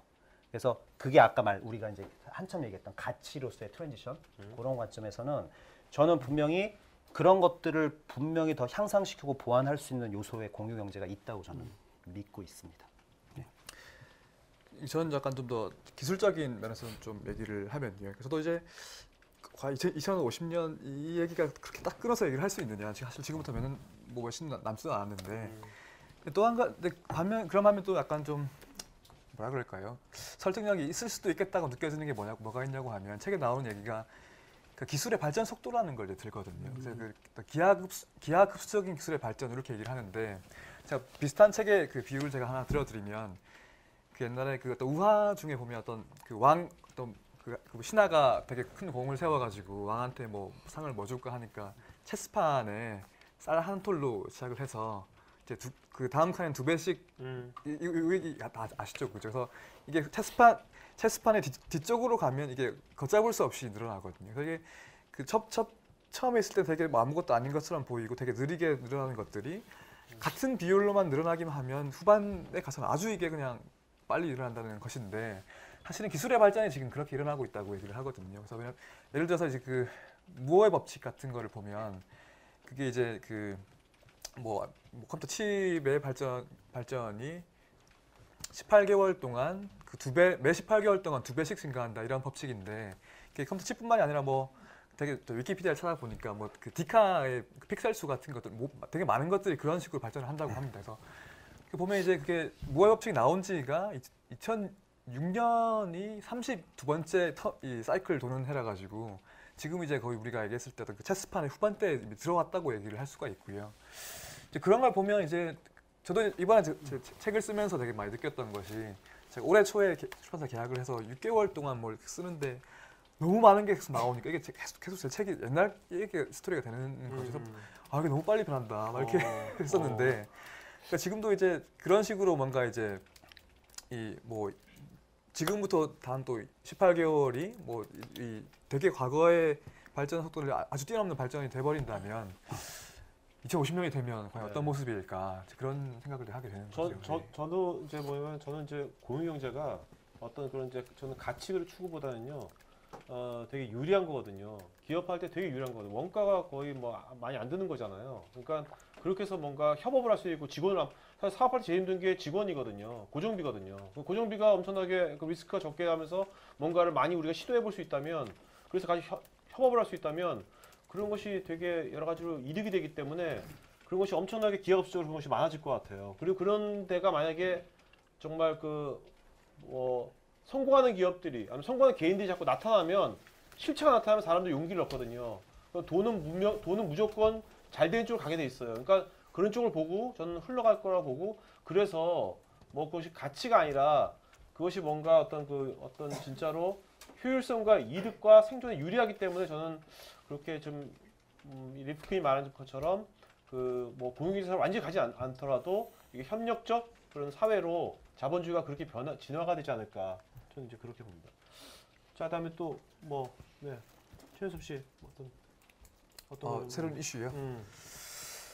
아 글쎄요 그, 그 책을 보신 분들은 알겠, 아시겠지만 크게 이제 그 나오는 세 가지 그 아이템들이 있습니다 이 책에 한 가지가 사물 인터넷이고요 두 번째가 그 3D 프린터고 그 다음에 이제 MOOC라고 그 그냥 뭐 무크. 무크. 음. 네그 어, 대학 강의를 인터넷에 공개를 해가지고 전 세계 누구든지 들, 들을 수 있는 그런 것들인데 어 글쎄요. 음 그래서 이 세- 제가 제가 들었던 질문 이겁니다. 그래서 그 세 가지 정도에 관해 가지고 현재 한국에서 어떤 영향을 미치는 것이 있을까? 아니면 뭐 본인들 주변에서 뭔가 이런 변화들을 느끼고 있는 것들이 게- 갖고 계신가 그런 것들이 좀 궁금했었거든요 그래서 되게 큰 변화가 올 거라고 얘기를 하는데 항상 변화에는 어떤 전조현상 같은 게 있으니까요. 우리가 지금 뭐 실감하고 있는 전조현상 같은 것들이 어떤 게 있을까 그런 것들을 좀 예, 질문 드리고 싶었습니다. 뭐 최현섭 씨 아무래도 사- 사물 인터넷이 아니면 네. 왼쪽에 네, 그 사실은 이제 이거 하나 하나가 다 네네. 뭐 그렇죠. 반나절씩 이야기해야 될 얘기인데 이걸 하나를 한, 한 문장으로 왜 합주셔가지고 반나절이 한나절 동안? 지치니까. 근데 어쨌거나 되게 파격적인 건 맞다고 봐요. 왜냐하면 지금 말씀하신 사물 인터넷 3D 프린터 무크가 공통점이 뭐냐면요. 어, 자세한 얘기를 떠나서 그냥 공통점이 하나 있어요. 기존에 이미 존재하고 있는 플랫폼에 굉장히 도전적인, 그러니까 와해를 시킬 수 있는 가능성이 있어요. MOOC는 기존의 교육 시스템을 분명히 무너뜨릴 수 있는 가능성이 있고요. 네. 사물 인터넷은 뭐 여기도 얘기했지만 커뮤니케이션 채널, 물류 채널, 에너지 채널이 다 갖고 있기 때문에 그 전반적인 어떤 산업의 흐름에 다 인프라가. 영향을 인프라에 영향을 줄 수 있고 3D 프린터 같은 경우는 지금 뭐 반대론자도 많아요. 정말 3D 프린터 많아질까 이렇게 얘기하지만 어쨌거나 메이커의 관점이라든가 뭐 소량 다품종의 시대의 관점이나 다양성의 관점에서 봤을 때 3D 프린터는 뭔가 쉽게 내가 갖고 싶은 걸 갖게 만들 수 있는 도구거든요. 네. 그러니까 그 세 가지 다 실제로 제조업을 망가뜨릴 수 있고 교육을 망가뜨릴 수 있고 전체적인 산업적 인프라를 망가, 망가뜨린다는 건 제가 표현을 잘못 썼고요. 와해시킬 수 있는 거죠. 기존의 가치관이 역전될 수 있게. 그 새로운 기회들이 많이 나오겠네요. 그렇죠. 그래서 엄청나게 많이 나올 수 있고 뭐 직업 역시도 마찬가지라고 생각을 해요. 만약 그것을 뭐 이렇게 사업을 한다면 뭐 어떤 어떤 사업이 유망 물론 이제 그런 질문 좋아하지 않겠지만 네. 관객을 위해서 그리고 이제 감이 빨리 오거든요. 네. 어, 예, 예를 들면 어떤 직업이 유리할까요? 어, 어, 어떤 뭐, 거? 뭐 이제 여러 가지가 있을 텐데요. 뭐 사물 인터넷은 뭐 제가 이제 제가 원래 하는 사업이 사물 네. 인터넷이니까 네, 하나만 말씀해 주세요. 하나만 거? 어. 딱 한다 그러면 사물 인터넷에 있어서 이제 굉장히 중요한 요소가 하나가 있어요. 뭐냐면 사람 여기 있는 분들한테 그냥 그냥 힌트를 하나 딱 던진다고 하면 사물 인터넷을 가지고 이제 사람들이 사물과 사물 인터넷을 좀 혼동을 하는데 그냥 그걸 제가 사물 인터넷으로 얘기할게요. 네.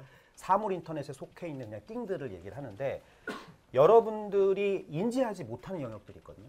여기 계신 분들이 지금까지 살아오시면서 내가 그걸 어떻게 살고 있는지 모르는 영역이 있어요. 예를 들어서 인간들은 대부분 인생의 3분의 1이나 4분의 1을 잠을 자요. 그렇죠.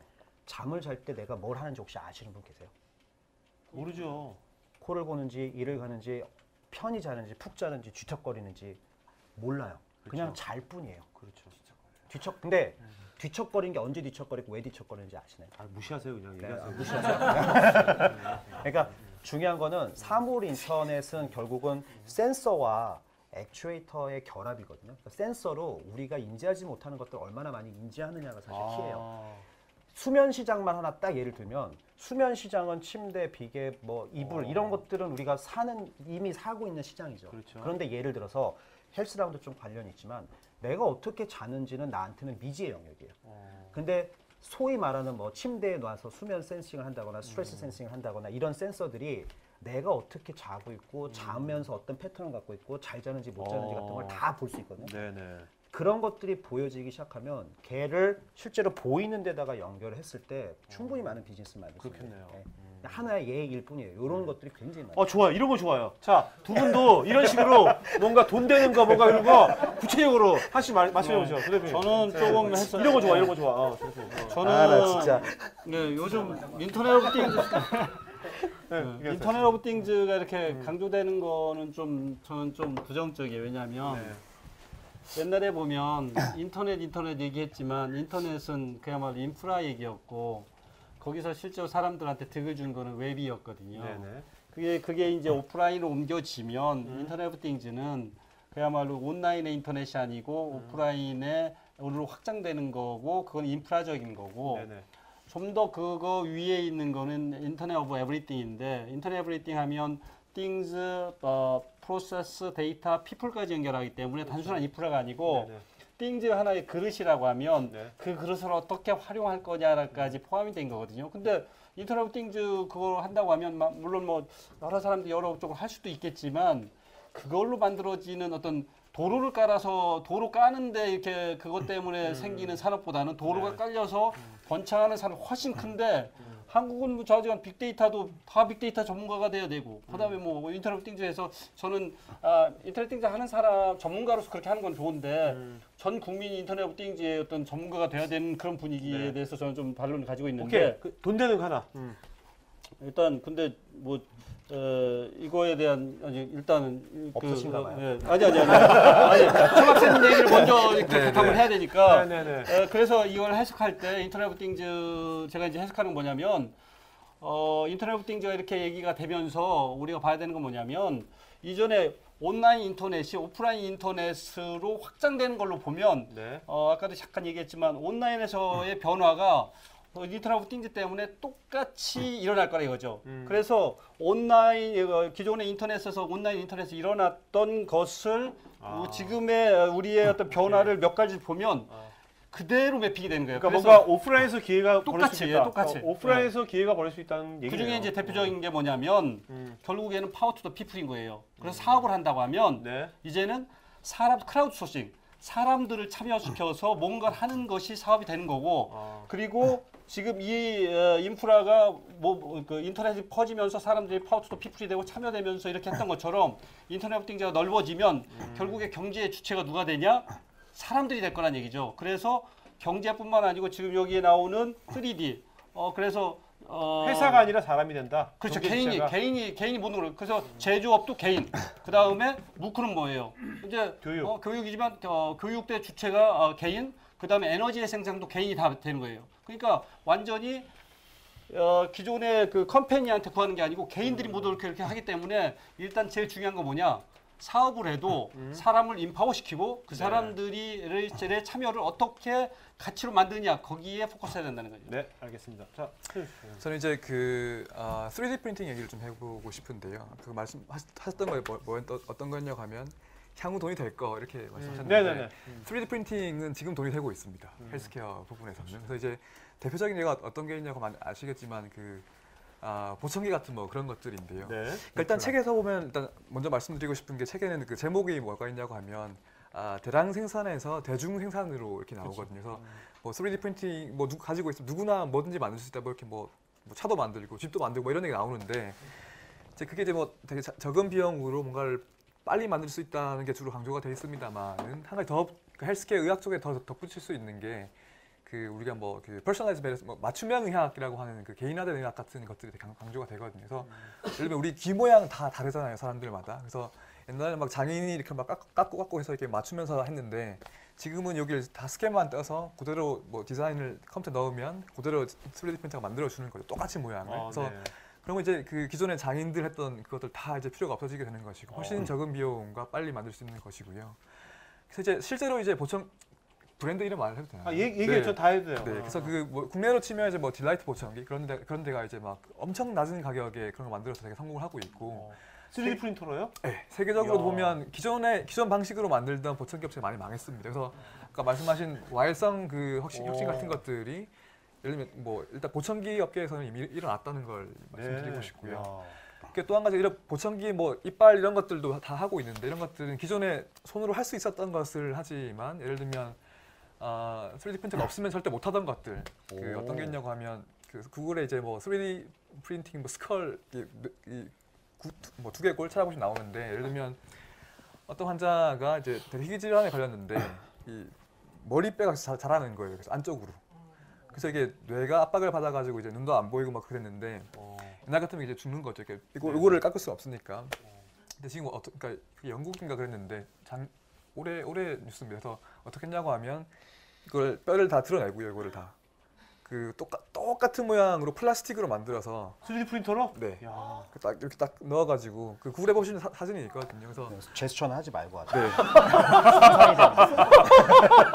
그래서 그런 걸 보면 이제 보청기 같은 것들은 사실 사실 제가 사진을 준비해 왔는데 예. 보청기 같은 것들은 기존에 할 수 있는 걸 더 빠르고 싸게 한다고 하지만 그 3D 프린팅 같은 걸 하면 이제 뭐 기존에 못했던 것들을 아까 두개골 사진 갖고 왔다는 겁니까 지금요? 그렇습니다. 네. 어, 그래서 이게 그냥 그 이게 플라스틱 사진이고요. 야. 야. 눈을 감으셔도 되는데 이게 실제 실제 수술했던 사진입니다. 그래서 이게 이렇게 플라스틱을 입힌 거죠. 그래서 야. 이런 것들 혁신들이 이제 이미 3D 프린팅에서 일어나고 있다는 거예요. 야. 아, 한지 글쎄, 얼마 안 돼서 아직 몰라요. 네, 그게 이게 뉴스 나온 게 거의 그 석 달 이후였던 것 같은데 수술하고 나서 그때까지 특별한 부작용 없다고 얘기했던 것 어, 같아요. 근데 저는 최근에 지문 지문 프린팅 해가지고 어? 어, 범죄 네, 네. 근데 조 대표님이 이제 사실 아까 그 또 미래에 좀 유망한 그걸 음. 얘기를 제대로 안 해주셔가지고 제가 네. 조 대표님의 비즈니스와 사실 연결돼서 하나 네, 네, 제가 알겠습니다. 하나를 더 말씀드릴게요 네, 네. 대신해서. 네, 네. 고맙습니다. 네. 남겨드린 거예요. 네. 조, 그러니까 조 대표님이 하시는 게 공유 경제잖아요. 그렇죠. 빈 방을 공유하는. 음. 근데 그게 따지고 보면 사실은 기술 뭐 사물 인터넷이 없는 시절에 이미 사실 스마트폰 때문에 공유 경제라는 게 사실 시작됐잖아요. 그러니까 스마트폰이 있었기 때문에 음. 사람들한테는 두 가지가 생겼어요. 발견의 비용을 굉장히 낮출 수 있었고요. 네. 그 다음에 그것들을 알릴 수 있는 굉장히 좋은 채널들이 많이 생겼어요. 음. 그렇기 때문에 빈방이 있다는 걸 내가 알릴 수 있고 빈방이 필요한 사람들한테 닿을 수 있고 빈방이 필요한 사람들 여기 와서 묵을 수 있는 거죠. 네네. 그게 스마트폰 때문에 시작됐다고 하면 지금 사실 이제 사물 인터넷이나 3D 프린터나 무크를 제레미 리프킨이 여기다 사례를 든 이유는 그것들이 한계 비용을 재료로 만드는 사실은 주요한 요인들이기 때문에 여기다 음. 됐죠 예로. 네네. 그래서 예를 하나 딱 들자면 이런 거죠. 기술이 없었으면 공유를 할 수가 없어요. 쏙하나 뭐 집카 이런 것들도 만약에 그냥 자동차만 있다 공유할 방법이 없어요. 어떻게 개, 계량하고 어디에 그렇죠. 위치를 알고 음. 어디에 있는지 알고 어떻게 보안을 체크하고 음. 연료라든가 이런 거 어떻게 하면 할 수가 없죠. 근데 예를 하나 딱 들어볼게요. 여기 혹시 반려견 키우시는 분 계세요? 집에 개나 고양이. 음. 네. 그 집에 혹시 없을 때는 개나 고양이 누가 보나요? 식구가 있나요? TV? Dog TV 틀어놓나요? 네. 아, Dog TV라고 있어요. 실제 개가 보는 TV가 있어요. 헬로 헬로 헬로 CJ 헬로 비전에서 개들이 Dog 나옵니다. TV가 네. 나옵니다. 네, 실제로 하고 있고요. 초원과 막 그러니까 이런 제가 이걸 왜 말씀을 드리냐면 지금 미국이나 유럽 같은 경우에 가장 큰 사물 인터넷이나 웨어러블 시장이 어디에 있냐면 반려견 시장에 있어요. 개 목걸이 같은 것들에 다 보면 센서랑 GPS 다 들어 있어요. 센서 GPS, 맥박계, 온도계 다 들어 있어서 주인의 핸드폰이랑 3G로 연결이 돼 있어요. 그래서 열이 난다거나 이럴 때 바로바로 noti를 줘서 네네. 개들의 건강을 체크해 줄 수도 있고 하는데 예를 들어서 사물 인터넷이 더 극대화돼 가지고 이런 것들을 더 손쉽게 할 수 있다. 그러면 지금 조 대표님이 하는 이제 공유 경제를 만약 반려견 쪽에다가 확정을 한다. 그러면 예를 들어서 우리나라 지금 반려견 시장이 어느 정도 되는지 아세요 혹시? 다섯 가구당 한 가구가 개를 키워요. 여기는 몇 분 안 계시지만, 그러니까 거의 천만 가구가 개나 고양이를 키우고 있거든요. 근데 이 천만 가구 중에 한 40% 정도가 독신이 많아요. 혼자나 둘이 사시는 분들. 그러니까 결국 집에 사람이 있을 경우에 상관없지만, 뭐 출근한다거나 회사에 갔을 때 개들 독 TV가 나온 이유가 사실 그거거든요. 음. 개가 혼자 있을 때 심심하니까 개한테 보여주기 위해서 독 TV가 나온 거고요. 관- 같은 관점에서 만약 이제 공유 경제에다가 이 반려견을 결합을 한다. 그럼 낮 시간 동안에 이 개를 대신 봐주거나 개, 낮 시간에 개가 필요하신 분이 있거든요. 그러면 공유 경제를 이용해서 낮에는 이분이 개를 보고 밤에는 이분이 가, 어, 가능해요. 어, 실제로. 맞습니다. 네, 가능. 어. 그러니까 제가 존재하지 않는 걸 그냥 던지는 건데 음. 이게 기술이 있기 때문에 가능해요. 네. 그래서 그러니까 저는- 아까 잠도 얘기했고요. 개도 그렇고 어떻게 우리가 지금까지 뭔가 어 뭐야 인지하지 못했던 분야들이 이런 게 발달하니까 이게 사업화가 되는 거군요. 그렇죠. 어, 그, 네. 그 기존에 이제 시장이라고 보면 시장이 가치가 이렇게 교환되는 거잖아요. 네네. 그러면 옛날에 교환은 어떻게 교환이 된다면 되게 이렇게 청크 이렇게 막 음. 어? 한 번 사거나 이렇게 교환됐는데 이제는 상품이 교환되는 게 아니고 익스피리언스나 이런 것들이 교환이 되는 거예요. 그러면서 이렇게 짜게 져서 음. 그러니까 어찌 보면 어 그 우리 자본주의의 중심 중에 하나가 시장이라고 하면 가치의 흐름이 극단적으로 효율화된 거예요. 네네. 필요한 그렇죠. 만큼. 그렇죠. 그렇게 보면 어떻게 보면 또 이제 이게 어, 시장이 더 진화한 자본주의 진화를 볼 수 있거든요. 그래 그래서 이제 결국에는 뭐 이런 방향이 이런 바- 이런 변화가 새로운 기회를 만들기도 하지만 궁극적으로는 좀 더 이 나은 세상으로 어, 만들 거라고 저는 네. 믿는 거죠. 저는 이제 무크 있지 않습니까? 여러분 여기서 혹시 무크, 해외에서 하는 무크 들어본 적 있, 들어본 손- 있습니까? 네. 저도 그거를 이 책을 읽으면서 어 이거 정말 꼭 들어야겠다. 제가 사는 이유가 그 교육에 전 교육에 대해 관심이 많은데 교육의 방법론이 너무나 앞서가는 거예요. 그 그게 뭐 스탠포드 교수가 중요한 게 아니라 그 교육의 방법론이 채점도 교수가 채점하는 게 아니라 학생들이 채점을 하는 거예요. 근데 그것이 교수가 채점하는 거하고 거의 상관관계가 84%가 맞는데요. 어, 학생들이 서로 서로를 채점하는데 그리고 그다음에 전 세계 몇십만 명이 온라인에서 서로 커뮤니티로 해가지고 거기서 서로 관점을 공유하고 우리 페이스북에서 댓글로 서로 하는 것처럼. 근데 그런 것들을 보면서 야 이것을 꼭 MOOC를 하는 주체만 돈을 버는 게 아니라 이런 방법론을 우리가 잘 익혀놓으면 어차피 교육은 아까 보청기처럼 교육도 저는 대학이건 뭔가 모든 교육기관이 확 뒤집힐 거라 보거든요. 너무나 오래됐고 old style이기 때문에. 그러면 그것에 하는 방법론을 먼저 익힌 사람들이 거기서 뭔가 저는 기회가 있지 않을까 저는 그런 걸 생각해요 그런 것들을 그래서 저도 어, 묵크 한번 들어봐야겠다 어, 어, 어떤 그 방법론을 확실히 한번 내가 체험을 해봐야겠다 생각이 들었어요 지금. 저는 거기다 하나만 딱 음. 덧붙이고 싶은 게, 그러니까 방금 이제 교육이 뒤집어질 수 네. 있어요. 분명히 뒤집어질 수 있는데, 네. 무크가 지금 보면 이제 메이저 3 업체가 있어요. 네 그렇죠 코스가 코- 코세라나 에덱스나 뭐 이런 음. 메이저 3 업체가 있는데 음. 이 업체들의 지금 전체 유저가 한 650만 정도 되잖아요. 네. 근데 지금 말씀하신 것처럼 엎어질 수 있는 가능성이 있으면서도 또 하나가 교육 기관들이 사실 가만히 있지 않거든요.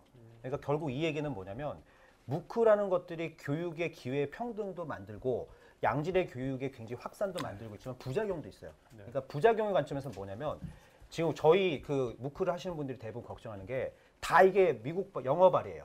다 영어 컨텐츠고 미국에 있는 학교들이에요. 그러다 보니까 이것들이 다 과거에는 그냥 미국에서만 이렇게 했던 유학생 받아서 네, 했던 네. 교육들이 네. 전 세계를 사실은 석권을 하고 있죠. 그러니까 음. 또 다른 문화의 식민지화가 지금 만들어지고 있다고 걱정하시는 분들이 있어요. 음, 네. 근데 중요한 거는 아시아 같은 경우에는 지금 여러 나라들이 있고 각각이 다 다른 언어와 문화와 컨텐츠와 cul- 이런 걸 다 갖고 있거든요.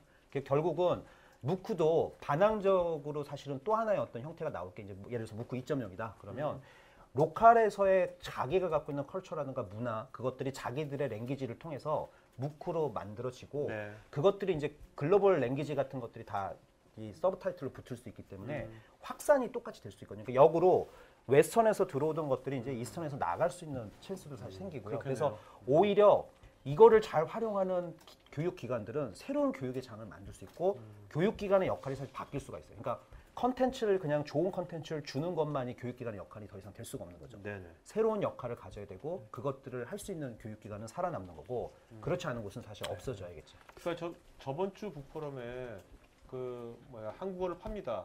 Talk To Me Korean이라고 30대 중반에 선현우 씨. 네, 선우 씨가 나와서 했는데 그분은 정말 500만 원 창업해가지고 전 세계 200여 국에 870만의 외국인들이 사, 사이트를 이용하고 돈도 벌고 있고요. 한국어를 교육하면서. 근데 그것이 뭔가 그 방법론이거든요. 기존의 어학당이랑 이런 거가 다른 거예요. 그런 것처럼 음. 뭔가 좀그 이런 저는 이제 뭔가 그 컨텐츠도 중요하겠지만 그 컨텐츠를 어떻게 그 딜리버리하고 어떻게 소통을 할 거냐. 이제 어떤 관점으로 그런 것들에 있어서 먼저 그걸 익힌 사람들은 분명히 앞으로 여러 가지 다양한 분야에서 기회가 오지 않, 묵클하지 않더라도 여러 가지 오프라인에서도 저는, 뭔가. 저는 이제 네. 무크가 뭐 그런 과정을 거칠 거예요. 네네. 근데 결론적으로는 뭐냐? 어, 지식의 민주화예요. 그렇죠. 더 이상 이제 에, 우리가 information 뉴스가 처음에 가치가 있다 지금 가치가 별로 없잖아요. 음. 어? 쓰긴 하지만 이제 어, 전 세계 모든 사람이 스탠포드 학생인 거예요. 어? 그리고 뭐 어, 가상의 스탠포드 학교가 하나 생기고 그래서 이제 대학이 대학은 이미 끝났다고 보는 거고 역할이 바뀌어야 되겠죠. 기존의 어, 지식을 전달하가 이렇게 그러고 보면 어, 심지어 어, 이런 어떤 그 어, 지식이나 이런 강의 이런 것들 이미 무너졌고 심지어 지혜, 네. 아이디어까지 다 이제는 어, 자유화되는 거예요. 그러니까 모든 사람이 그런 걸 얻는데 전혀 barrier가 없는 거예요. 이제 다만 이제 그거를 습득하고 하는데 아, 정보가 아무리 많아져도 어, 습득하고 하는 게 얼마나 효율적인 그런 문- 의미가 있잖아요. 거기 거기서 나오는 게 context. 그러니까 예를 들어서 정보가 처음에 어, 그러니까 저는 자꾸 인터넷을 보고 이제 어, 실생활에서 그런 걸 보는데 처음에 정보가 없을 때는 정보가 있는 게 온라인에 있는 게 되게 중요한 거야. 정보 하이웨이야. 네네. 근데 정보가 갑자기 많아졌어. 그 내가 어느 그 저기 구두 가게 갔는데 어느 한 가게 갑니까 빨간색밖에 없는 거야. 음. 옆에 가게 갔더니 어 빨주노 파남보가 있는 거야. 네. 어, 어 그러니까 얼마나 좋아요. 옆에 가게 갔더니 256 컬러가 있는 거야. 음. 어? 그러면 두 번째 가서 이렇게 뭐 만족감을 느낀 만큼 가서 만족감을 느끼냐? 그게 아니에요. 오히려 반감되는 거예요. 네네. 그래서 어 이거를 줄이는 게 뭐냐면 전문 정보가 들었다 filtering이에요. 근데 와가지고 막 많은데 음. 어세 개 딱 깔고 와서 네네. 어 사장님 이게 어울리는 것 같아요 이- 이러거든요. 그러니까 옛날에 컨텐츠가 king이고 이 컨텐츠는 모든 거 다 거예요. 뭐 교육 컨텐츠, 지혜, 아이디어 모든 거. 이제 중요한 거는 context filtering. 그래서 이제 뭐. 그 큐레이션. 그러니까 구글이 information 시대에 야후가 아주 제대, 대, 제대로 되다가 필, 그 이제 너무 많아지니까 네. 필터인 서치 엔진이 구글이 떴던 것처럼 네. 앞으로는 컨텐츠 자체가 아니고 네. 그런 걸 모아다가 어떻게 잘 전달하느냐. 네. 아, 이게 이제 뜰 네, 거라는 거죠. 네, 알겠습니다. 자 마지막으로 최영 씨 뭐야 뭐야 본인은 어떤 뭐 읽으면서 네. 뭐 어떤 것도 뭐가 있습니까? 뭐 사실은 거의 다 얘기했는데 네. 그냥 이거 제레미 리프킨한테 진짜 가요? 아, 아 이렇게 할까요? 어. 아니, 제레미 리, 이게 이제 저는 이거 읽으면서 무슨 생각을 했냐면 제레미 리프킨이 왜 한국에 와서 이 얘기를 했을까? 음. 사실은 굉장히 초기에 음. 다른 나라도 별로 안 갔는데 초기에 근데 제레미 리프킨이 2000년대 초반 1990년대 말에는 주로 유럽에서 주로 활동을 했어요. 네. 그 소유의 종말이라든가 뭐 에너지에 관련된 것들 가지고 굉장히 많이 활동을 했고 유럽의 독일이라든가 이런 정부 쪽에 굉장히 깊은 자문을 사실 했어요. 네, 그렇죠. 그래서 독일의 뭐, 뭐 신재생 에너지 지금 퍼센티지가 거의 27% 정도 되고 하는 것들 사실 제레미 리프킨이 영향을 줘서 이렇게 된 거거든요. 근데 갑자기 제레미 리프킨이 아시아에 꽂혔어요 지금. 무슨 소리냐면 아시아를 제일 먼저 달려와서 지금 이거를 지금 하고 있는 거거든요. 네. 근데 왜 아시아에 와서 제로 마진, 그러니까 제로 한계 비용 제로라는 거를 사물 인터넷과 엮어서 얘기를 하고 있을까? 우리가 이거를 좀 저는 고민을, 해. 그러니까 내용은 보시면 그냥 여기 나왔던 내, 내용, 내용 이게 합쳐놓은 내용 느낌인데 왜 굳이 아시아에 와서 한계 비용 제로라는 걸 얘기할까? 미국에서 한계 비용 제로가 될 수 있을까? 그거는 아시아의 어떤 독특한 특성과도 저는 관계가 있다고 봐요. 그래서 지금 경제 규모나 이런 걸로 볼 때도 아시아가 지금 가장 크고 있고 아시아만 성장을 하고 있어요. 여전히 스- 스마트폰 9억 대가 필요한 중국에 6억 5천만 대밖에 아직 공급이 안 돼 있고 네. 그- 여전히 성장 잠재성이 있는 곳이 다 아시아에 있어요. 인도, 네. 뭐 중국 그런 곳들. 결국 뭐냐면 제로 마 그러니까 한계 비용 제로 사회에서 중심이 될 곳은 저는 아시아라고 생각을 하는 거예요. 사물 인터넷도 역시 아시아가 그것들을 굉장히 많은 것들로 만들어낼 수 있고 물론 지금 솔루션이나 이런 관점에서 미국이 더 많은 다양성을 가져가고 있지만 그래서 제레미 리프킨이 아시아의 향후 20년에 사실은 포텐셜을 느낀 것 같아요. 음. 그래서 아 이제 아시아에 빨대를 꽂아야겠다. 그래서 저는 와서 지금 이제 이 얘기를 지금 박근혜 대통령 만나고 막 하고 있거든요. 아, 네. 그 이야기는 뭐냐면 여기에서의 뭔가 발, 그 보이는 거죠. 음. 그래서 여기서 뭔가 보이면 이제 그런 것들을 갖고 만들 수 있는데 그래서 저는 오히려 이 책에 있는 내용들을 어떻게 하면 이제 아시아들이 하나의 여러 서로 각자 다 장점들이 있으니까 네. 그런 것들을 갖고 아시아가 에너지나 물류나 다 사실 아시아에서 의미가 있는 것들이거든요. 네, 네. 사물 인터넷의 관점도 그렇고 그래서 그런 것들을 좀 아시아 의 관점에서 이제 좀 봐야 되지 않을까. 어, 한국이 아니라. 뭐 지금 말씀 들어보니까 진짜 중국은 중국은 이게 그래도 이제 사회주의지 않습니까 지금 그다음에 뭔가 그 당의 어떤 그런 사람들이 그 계획을 다 짜고 하니까 핀이 독일 독일도 그 수상하고도 되게 교류가 조- 좋았잖아요. 그런 것처럼 중국의 지도층이랑 뭔가 이렇게 잘 꽂혀가지고 뭔가 공유경제 사물인터넷 사물인터넷은 이게 중국 정부 입장에서는 전체를 다 통제할 수 있는 거잖아요. 통제하는 거 좋아하니까 중국 애들도 그 정, 정부 입장에서는. 그러니까 전국의 모든 사물을 다 깔아 넣어버리면 연결시켜 버리고 뭔가 그런 것들을 하고 하면 이런 것들이 되게 크게 또 시너지가 날 수도 있겠다. 그 제레미 리프킨이 구체적으로 얘기한 게 있어요. 뭐라고 했냐면 사회 간접 자본 확충에 쓰는 비용에 한국 그 정부한테 25%를 스마트 인프- IoT 포함해서 스마트 인프라를 만드는데 네. 어, 단기간에 이, 그 25%를 투자하는 거예요. 어, 네.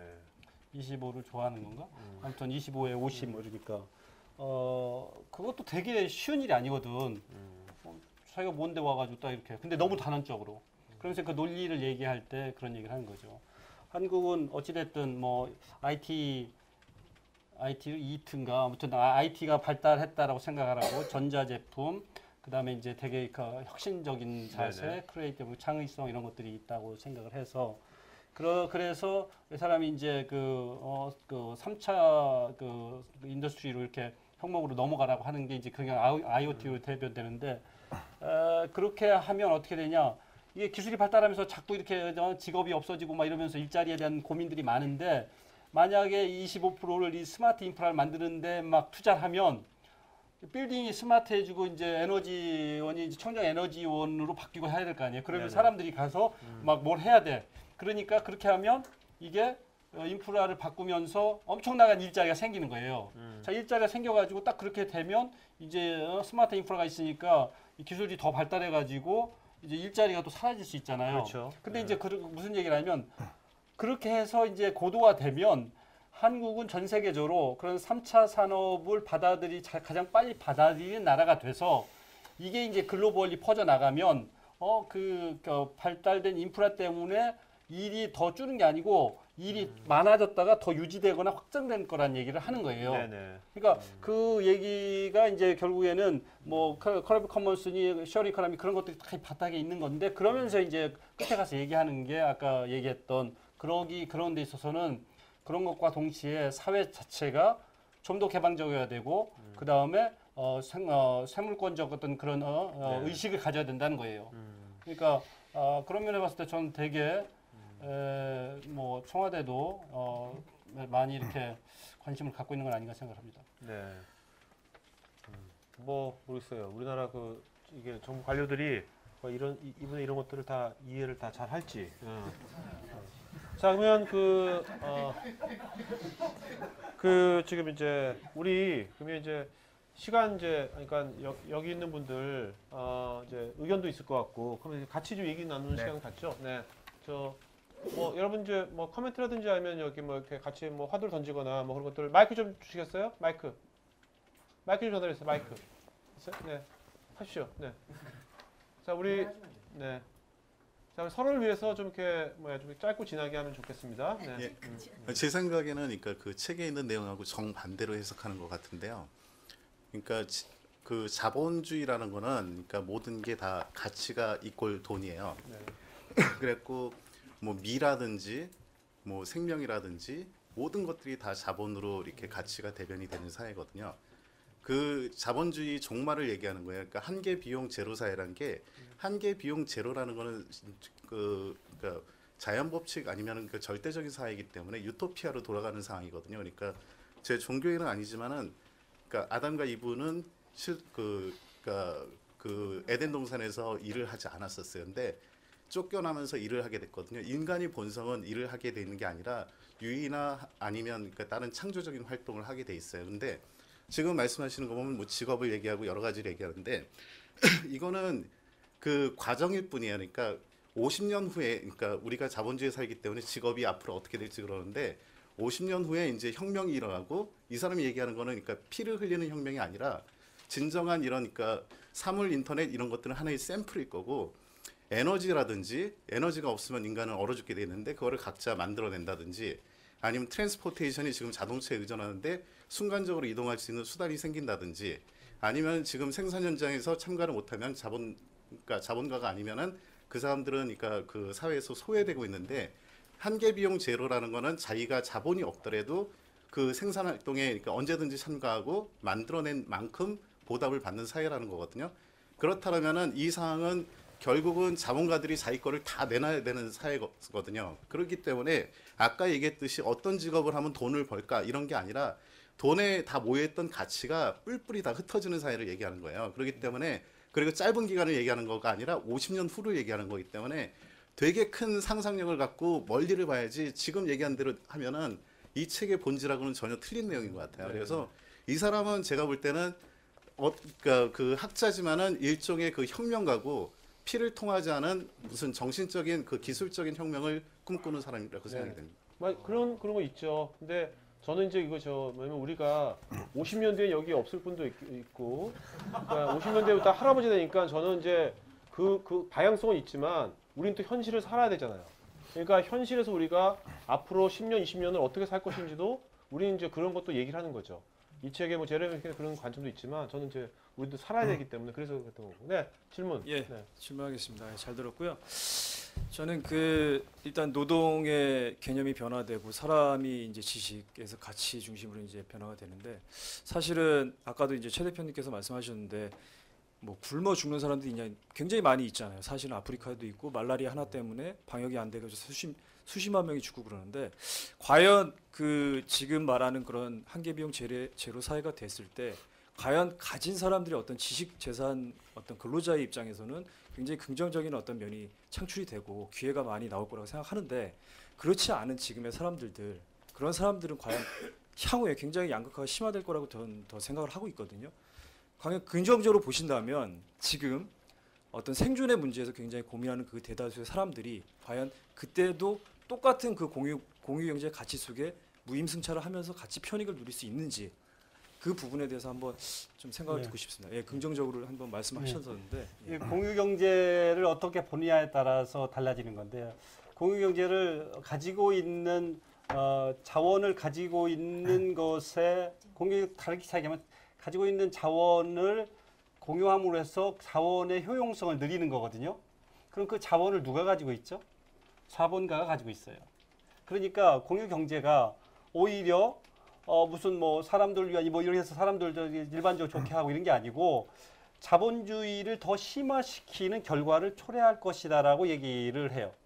자, 그거는 공유 경제가 내가 있는 것을 공유할 때까지 했을 때 맞는 얘기예요.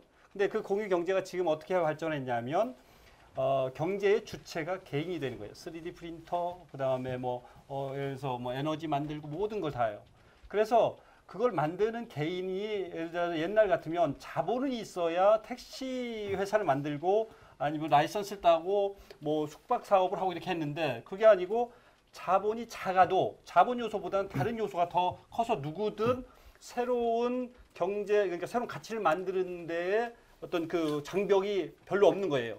그래서 자본가가 가졌던 그런 메릿이 없어 좀 누그러뜨러지기 때문에 어, 오히려 어, 그 기존의 어떤 자본 중심으로 해가지고 이것보다도 좀더 평등하게 많은 사람들한테 기회가 많이 가서 어, 좋은 사회가 올 거라고 해석하는 겁니다. 네.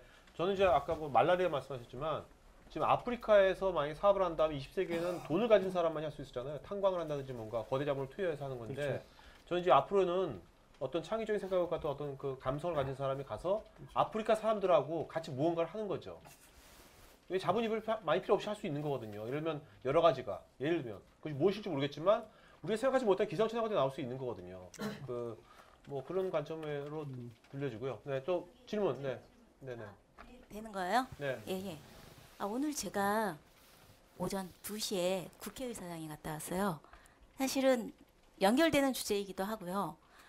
오늘 거기서 세미나가 있었는데 크레이지 파티라고 어, 초연결 사회와 미래 정당의 붕괴예요. 음.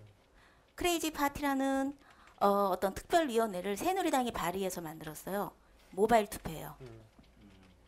그래가지고 아주 현안적인 문제를 모바일 투표로 해가지고 이분들이 이루어낸 게 얼마 전에 그, 그, 그 버스, 그 뭐지, 광역버스 입성 문제. 네.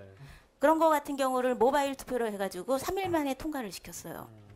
그리고 또 하나는 지금 발의하고 있는 것이 18, 18세 투표율 낮추기.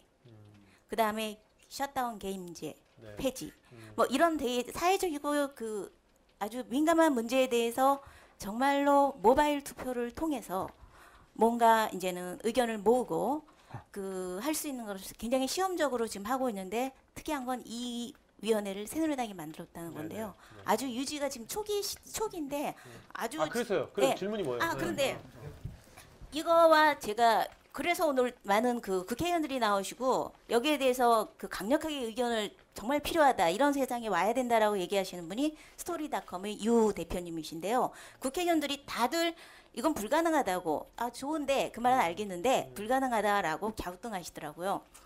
근데 이제 유엔 미래학회에서 미디어의 발달로 정당 정치에 큰 변화가 오는데 2040년 아, 저 질문. 질문이 뭐냐고요? 아 질, 아, 예. 질문을 끝에만 끝에. 끝에를 읽으세요. 결론만. 아 질문요? 네, 네. 아 이건 질문은 아니에요. 질문은 네, 아니고 일단 이제 질문을- 생각할 거리를 주는 건데요. 아, 첫째 미래 미래 정당은 붕괴될 것이다. 네. 그러니까 지금 여러분들이 생각하고 있는 이런 자본주의 사회 뭐 시스템 이런 것들은 사실은 반세기 50년 안에 붕괴될 것이고 그 전에 정당 제도는 붕괴될 것이고 첫째 대표자는 집단을 대표하지 않고 개인을 대표하고 둘째 똑똑한 개인이 권력을 가지고 똑똑한 개인이 그러니까 부를 가진 개인이 아니라 그다음 셋째 몇 절까지 있는 겁니까 지금? 음, 마이크로 참여 주수와 상시 국민 투표의 결정 시스템. 넷째 유권자는 도덕, 명분, 네. 정치 거기까지, 그가 거기까지, 상관없이. 네, 오케이, 오케이. 네. 정치인 자, 자, 자, 자. 자, 우리 여러분, 여러, 우리 다 같이 하는 거기 때문에 우리가 여러분들 또 좋아요. 우리 아니 서로 하는 거면 그러니까 결론만 그걸 여러분 할 때요 질문이건 의견이건 간에 정말로 제가 하고 싶은 거 정말 좀 줄여가지고 하시면 되게 좋을 아, 것 같아요. 예 우리가. 이렇게만 얘기할게요. 네네 응. 오케이. 예. 네, 안녕하세요. 저는 불평등 문제에 대해서 말씀드리고 싶습니다. 그 한계비용 제로 사회의 이제 제레미 르프킨의 관점을 이제 습득하신 네 분의 패널께서는 최근 그 피케티가 이렇게 열풍이 됐잖아요. 그러면서 이 우리나라나 세계적으로 불평등 문제가 이제 그 수치화돼 가지고 나타나는데 피케티는 막상 제시한 해결책이 국제 정부를 만들어서 규제해야 된다는 말밖에 못 해요. 근데 한계 비용 제로 사회를 통해 본다면 이 국제 정부 말고도 좀 더 합리적이고 이제 그럴싸한 이야기가 다른 해결책을 좀 얘기해 주실 수 있지 않을까. 그래서 누가? 그런 거를 누가? 말씀해 주셨으면 네, 감사하겠습니다. 그게 이미 공유 경제가 왜 대화되는 이유 중에 하나가 자본주의 때문에 부의 어, 편종의 이 문제를 해결해야 된다는 얘기거든요. 그래서 아까 그 질문하신 거하고 똑같이 돈을 가진 사람이 계속 돈을 더 버는 게 아니고 어, 개인이 어, 가치 생산을 겨- 경제에 있어서 주체가 돼서 어, 쉽게 가치를 만들고 그게 하나의 어떤 돈으로 그 부의 어떤 어, 평등한 분배로 이어지는 그래서 어, 뭐 21세기 자본론 같은 경우는 자본주의 내에서 해법을 찾는 거거든요. 공유경제는 어찌 보면 다른 데서 아웃박스이기 때문에 이게 뭐 어떤 게 옳든 그렇든 어, 저는 그 되게 심각하게 한번 공유경제 관점에서 그런 문제를 해결하는 거를 접근해 볼 필요가 있다고. 저는 이제 뭐야 유엔 말씀하셨는데 유엔보다는 저는 이제 좀 뜻 있는 사람들이 좀 이렇게 협동조합과 사회적 기업의 하이브리드 형태 뭐 그런 식으로 해가지고 뭔가 그런 실제적인 것들을 좀 뭐야 그 커뮤니티처럼 그 대신 투명하게 자기들끼리만 하는 것이 아니라 정말 투명하게 그 과정을 투명하게 해가지고 누군지 볼 수 있게 또 참여 그런 것이 뭐 그런 사람들이 뭔가 해서 뭔가 진, 실질적인 뭔가를 움직이는 것을 좀 있었으면 좋겠다 그런 것들이 네. 그 질문 네. 아, 네. 그 혹자는 인간을 그 기계 사회의 생식기에 불과하다 이렇게 평했거든요. 근데 과거의 그 역사를 봤을 때 항상 기술 발달을 인간의 사회나 윤리가 따라가지 못해 가지고 발생한 비극들이 많아요. 근데 우리가 과연 이 제레미 리- 리프켄한테 묻고 싶은 게 우리가 낙관하는 이 지금 앞으로 공유 경제가 온다고 그런 사회가 과연 우리가 낙관만 할 수 있는 사회일까 이런 게 좀 궁금하거든요. 네, 오케이. 질문이 되게 어려워요. 그러니까 낙관할 수 없는 요소가 뭔가인가요? 그러니까 기술 문명을 인간의 사회나 윤리가 못 따라 못 따라간다는 거죠. 그 예를 들면 이제 뭐 특히 뭐그그 뭐 건강 정보, 의료 정보라든지 아니면 아까 나왔던 DNA 정보 같은 그러니까 이게 결국엔 보안이나 사생활 침해 같은 문제도 되게 많이 나오는데요.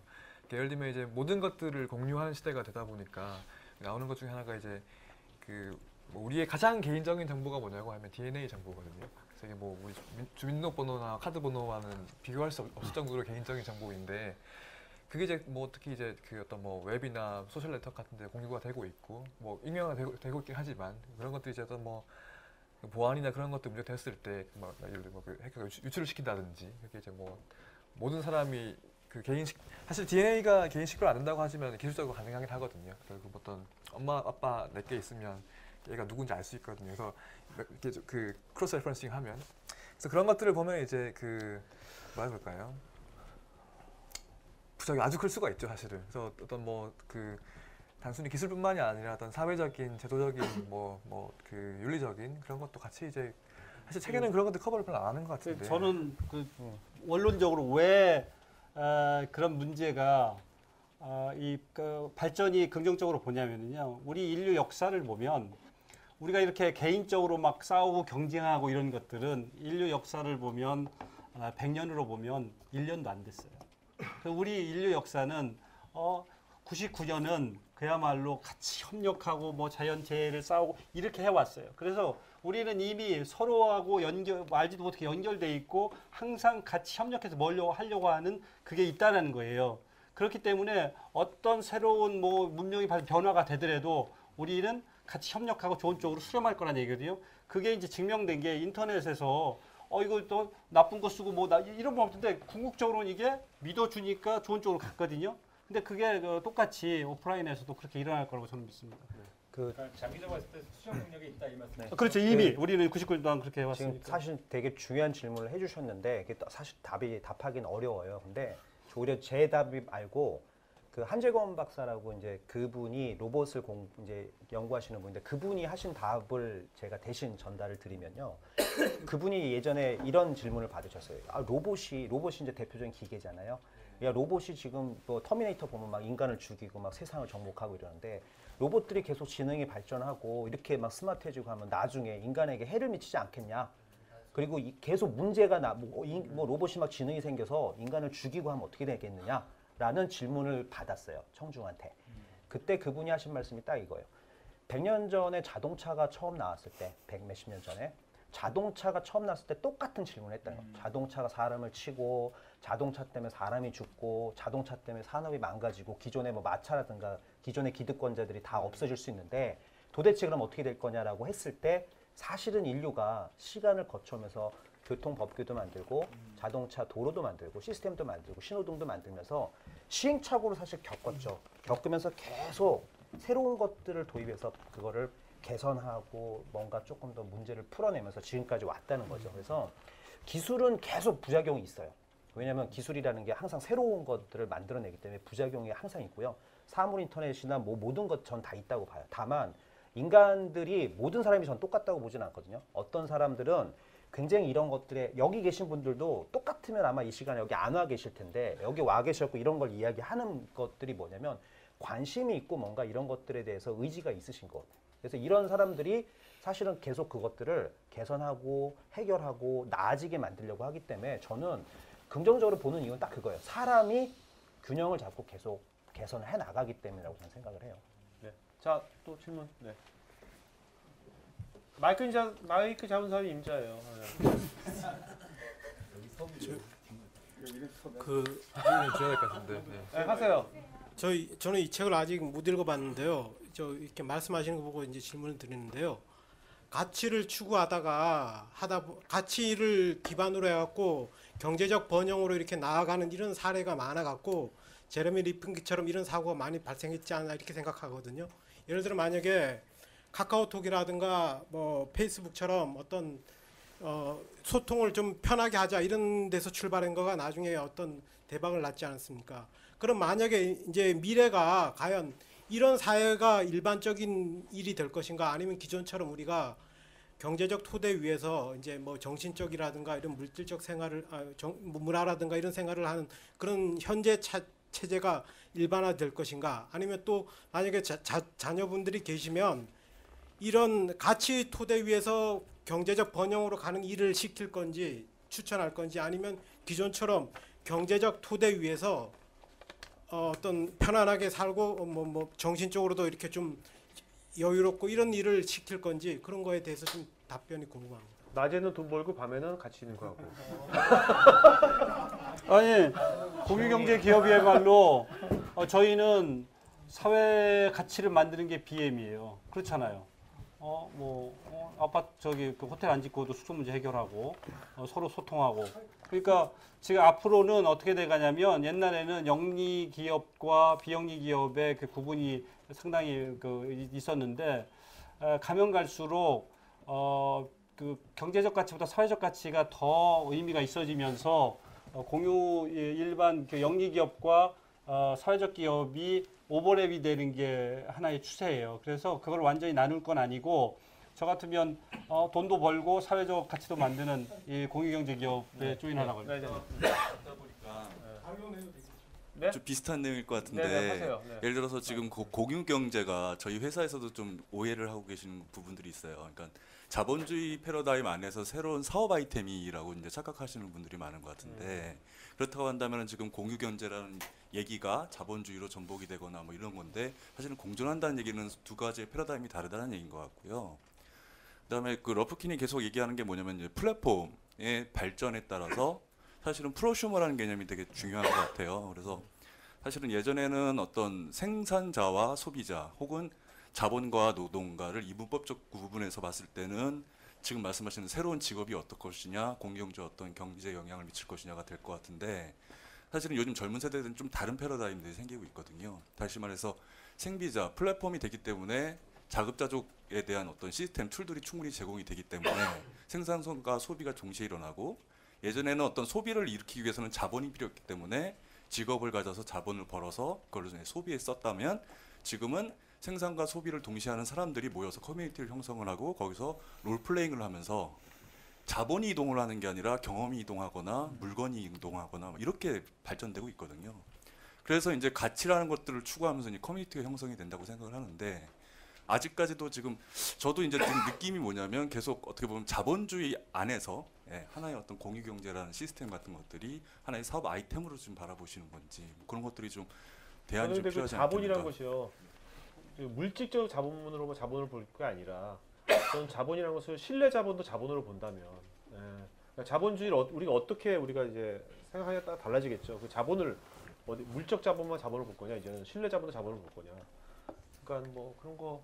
그러니까 오늘은요 여러분 우리가 정답을 얘기하는 것이 아니라요 서로 관점을 같이 얘기하는 것이지 뭐 정답은 없습니다. 각자 알아서 하면 되는 거죠. 그 다음에 오늘 사실 이게 9시 반에 끝나는 거예요 토크가. 근데 워낙 워낙 이 내용이 그러다 보니까 오늘 여러분들 그 10시까지 어떠세요? 10시까지 괜찮습니까? 10시까지? 어차피 20분 남았는데 10시까지 하고 그 다음에 오늘 끝내는 걸로 하겠습니다. 그 다음에 standing party 할 때 서로 얘기할 거 얘기하시고요. 네. 자, 빨리빨리 질문들 좀 하시죠. 하시죠. 네. 아까 아까 안 계신 분 질문하고 똑같은데요. 이게 우리 자본주의 개념에서 조금 약간 이렇게 벗어나는 것 같아서요. 왜냐하면 이 자본주의가 이게 그 기본 시- 경제 시- 경제 기본소 시스템이 뭐냐면 개인이나 각각 개인이나 나라가 자원이 그 즉 A가 갖고 있는 A가 갖고 있는 자원이 있고 B가 갖고 있는 자원이 서로 다르기 때문에 교환하는 거거든요. 그 교환하는 가- 과정 중에 그 그러니까 그 어떤 세- 제품 제품을 생산하기 위해서 필요 비용 이상으로 이윤 그 비용을 더 추가해서 자기가 이윤을 갖는다는 거거든요. 그게 자본주의 사회거든요. 근데 문제는 뭐냐면 이런 교환 가치 교환 가치를 따라서 아, 교환 가치에 따라서 비용보다 우리가 가격을 높이 매김으로써 그게 이윤이 생기는데 문제점은 뭐냐면 지금 사회로 네트워크가 발달된 사- 상황에서 네트워크가 그리고 이 네트워크가 발달되면서 생산 비용이 굉장히 단가가 낮아졌다는 거죠. 문제는 그게 문제가 아니라 네트워크에 그게 인터넷이든 아니면 인적 네트워크이든 그게 굉장히 가깝게 그 생산자에서부터 소비자로부터 곧바로 다이렉트 넘어간다는 얘기거든요. 그러면 중간 단계는 어떻게 되냐요? 건너뛴다. 그, 그 안에 있는 사람들은 이유는 못 얻고 다 놀아야 된다는 즉 노동의 가치를 못 보는 상황이 벌어진다는 게 이 지금 자본주의 이 지금 이 책이 그러니까 이야기하는 지금 중간 상인들 그러니까 그냥 거래에 있어서 네. 중간에 있는 계층은 어떻게 될 거냐의 질문이죠. 그죠? 그 사람들 어떻게 할 거냐? 지금. 예, 그, 그래서 지금 이 책이 지금, 지금 이야기하는 게 중간 단계 생산 관계가 그게 1차, 2차, 3차 전반에 걸쳐서 산업 전반에 걸쳐서 문제점이 발생한다는 거예요. 예를 들면 어떤 거냐면 예를 첫 페이지 이야기했던 게 아니 그래서 질문이 뭐예요? 질문이나 하고 싶은 얘기가 뭐냐? 지금 우리가 결론이. 책의 본질을 약간 벗어나는 그러니까 파생적인 이야기를 제가 하는데 본질을 건들고 이야기해야 되는데 그게 자꾸 나가니까 네. 제가 하는 얘기거든요. 음. 그 간단히 이야기하면 뭐냐면 예를 들어서 이제 출판 같은 경우에 우리가 그 전에 이제 저자가 책을 쓰면 팔았는데 소비자가 갔는데 그 중간 과정에 모든 오케이, 인쇄 그러니까 지금 지금 직거래로 간다는 거 아닙니까? 그래서 지금 예, 그, 그죠? 그래서 문제는 뭐냐면 그 중간 단계 사람들은 돈을 벌 수가 없, 없는 오케이, 상황이 자, 벌어진다는 오케이 거죠. 됐습니다. 거기까지. 그러니까 그러니까, 그러니까 저 네, 아, 중간 중간에 아. 있는 직거래가 자꾸 직거래 사회를 가잖아요 지금요. 그러니까 네. 지금 말씀하신 내용들은 이미 네. 그렇게 진행된다는 전자에서의 내 얘기를 하는 것이지 그걸 그냥 무시하는 게 아니에요. 그래서 어, 대표적으로 이게 이제 3D 프린터만 해도 어떻게 되냐면 옛날에 뭔가를 생- 생산한다고 하면 기획하고 디자인하고 막 이런 걸 해야 되잖아요. 오픈 소스가 네. 있어. 그래서 다운로드 마저 탁 하면 제로는 아니지만 거의 제로에 가까워지기 때문에 그거를 어, 만들어서 투자해서 유통시키고 이러면서 이제 그 자본주의에서 돈을 아까 얘기하는 어, 그, 그 움직이면서 돈을 벌어야 되는데 그게 무너진다는 얘기를 하는 거고요. 근데 그거 말고도 이제 기존에는 이 사회가 계층화되고 그리고 신뢰가 개인 간의 개인의 신뢰가 아니고 또 어떤 규제나 라이선스 이런 것들 때문에 이제 택시 회사가 필요하고 정부가 필요가 이렇게 필요했었단 말이에요. 그런데 지금은 그런 게 다 필요 없이 데이터 드리븐 데이터를 가지고 알고리즘 가지고 하면 개인과 개인의 신뢰 관계를 만들 수 있어요. 그러니까 이전에는 중간에 매개제들이 많았어. 그래서 이 비용이 엄청나게 들었는데 이게 싹 무너져 버리고 중간에 그냥 플랫폼만 딱 있으면 되는 거예요. 그러니까 자본주의의 어떤 그 근간은 또 이런 어떤 중간에 매개제들이 많이 있고 이런 건데 이렇게 효율화되면서 기존의 그 규제 대신에 알고리즘, 개인 간의 신뢰 이런 요소도 실은 그 기존 기본 자본주의 시장 경제가 어, 와해되는 예로 예로 보는 거죠. 근데 저는 그게 말씀하신 것처럼 그 중간 상인들 많이 없어질 수 있겠죠. 그 사람들 많이 없어지겠지만 또 근데 어떤 기회가 생길 생- 많이 생길 거냐면요.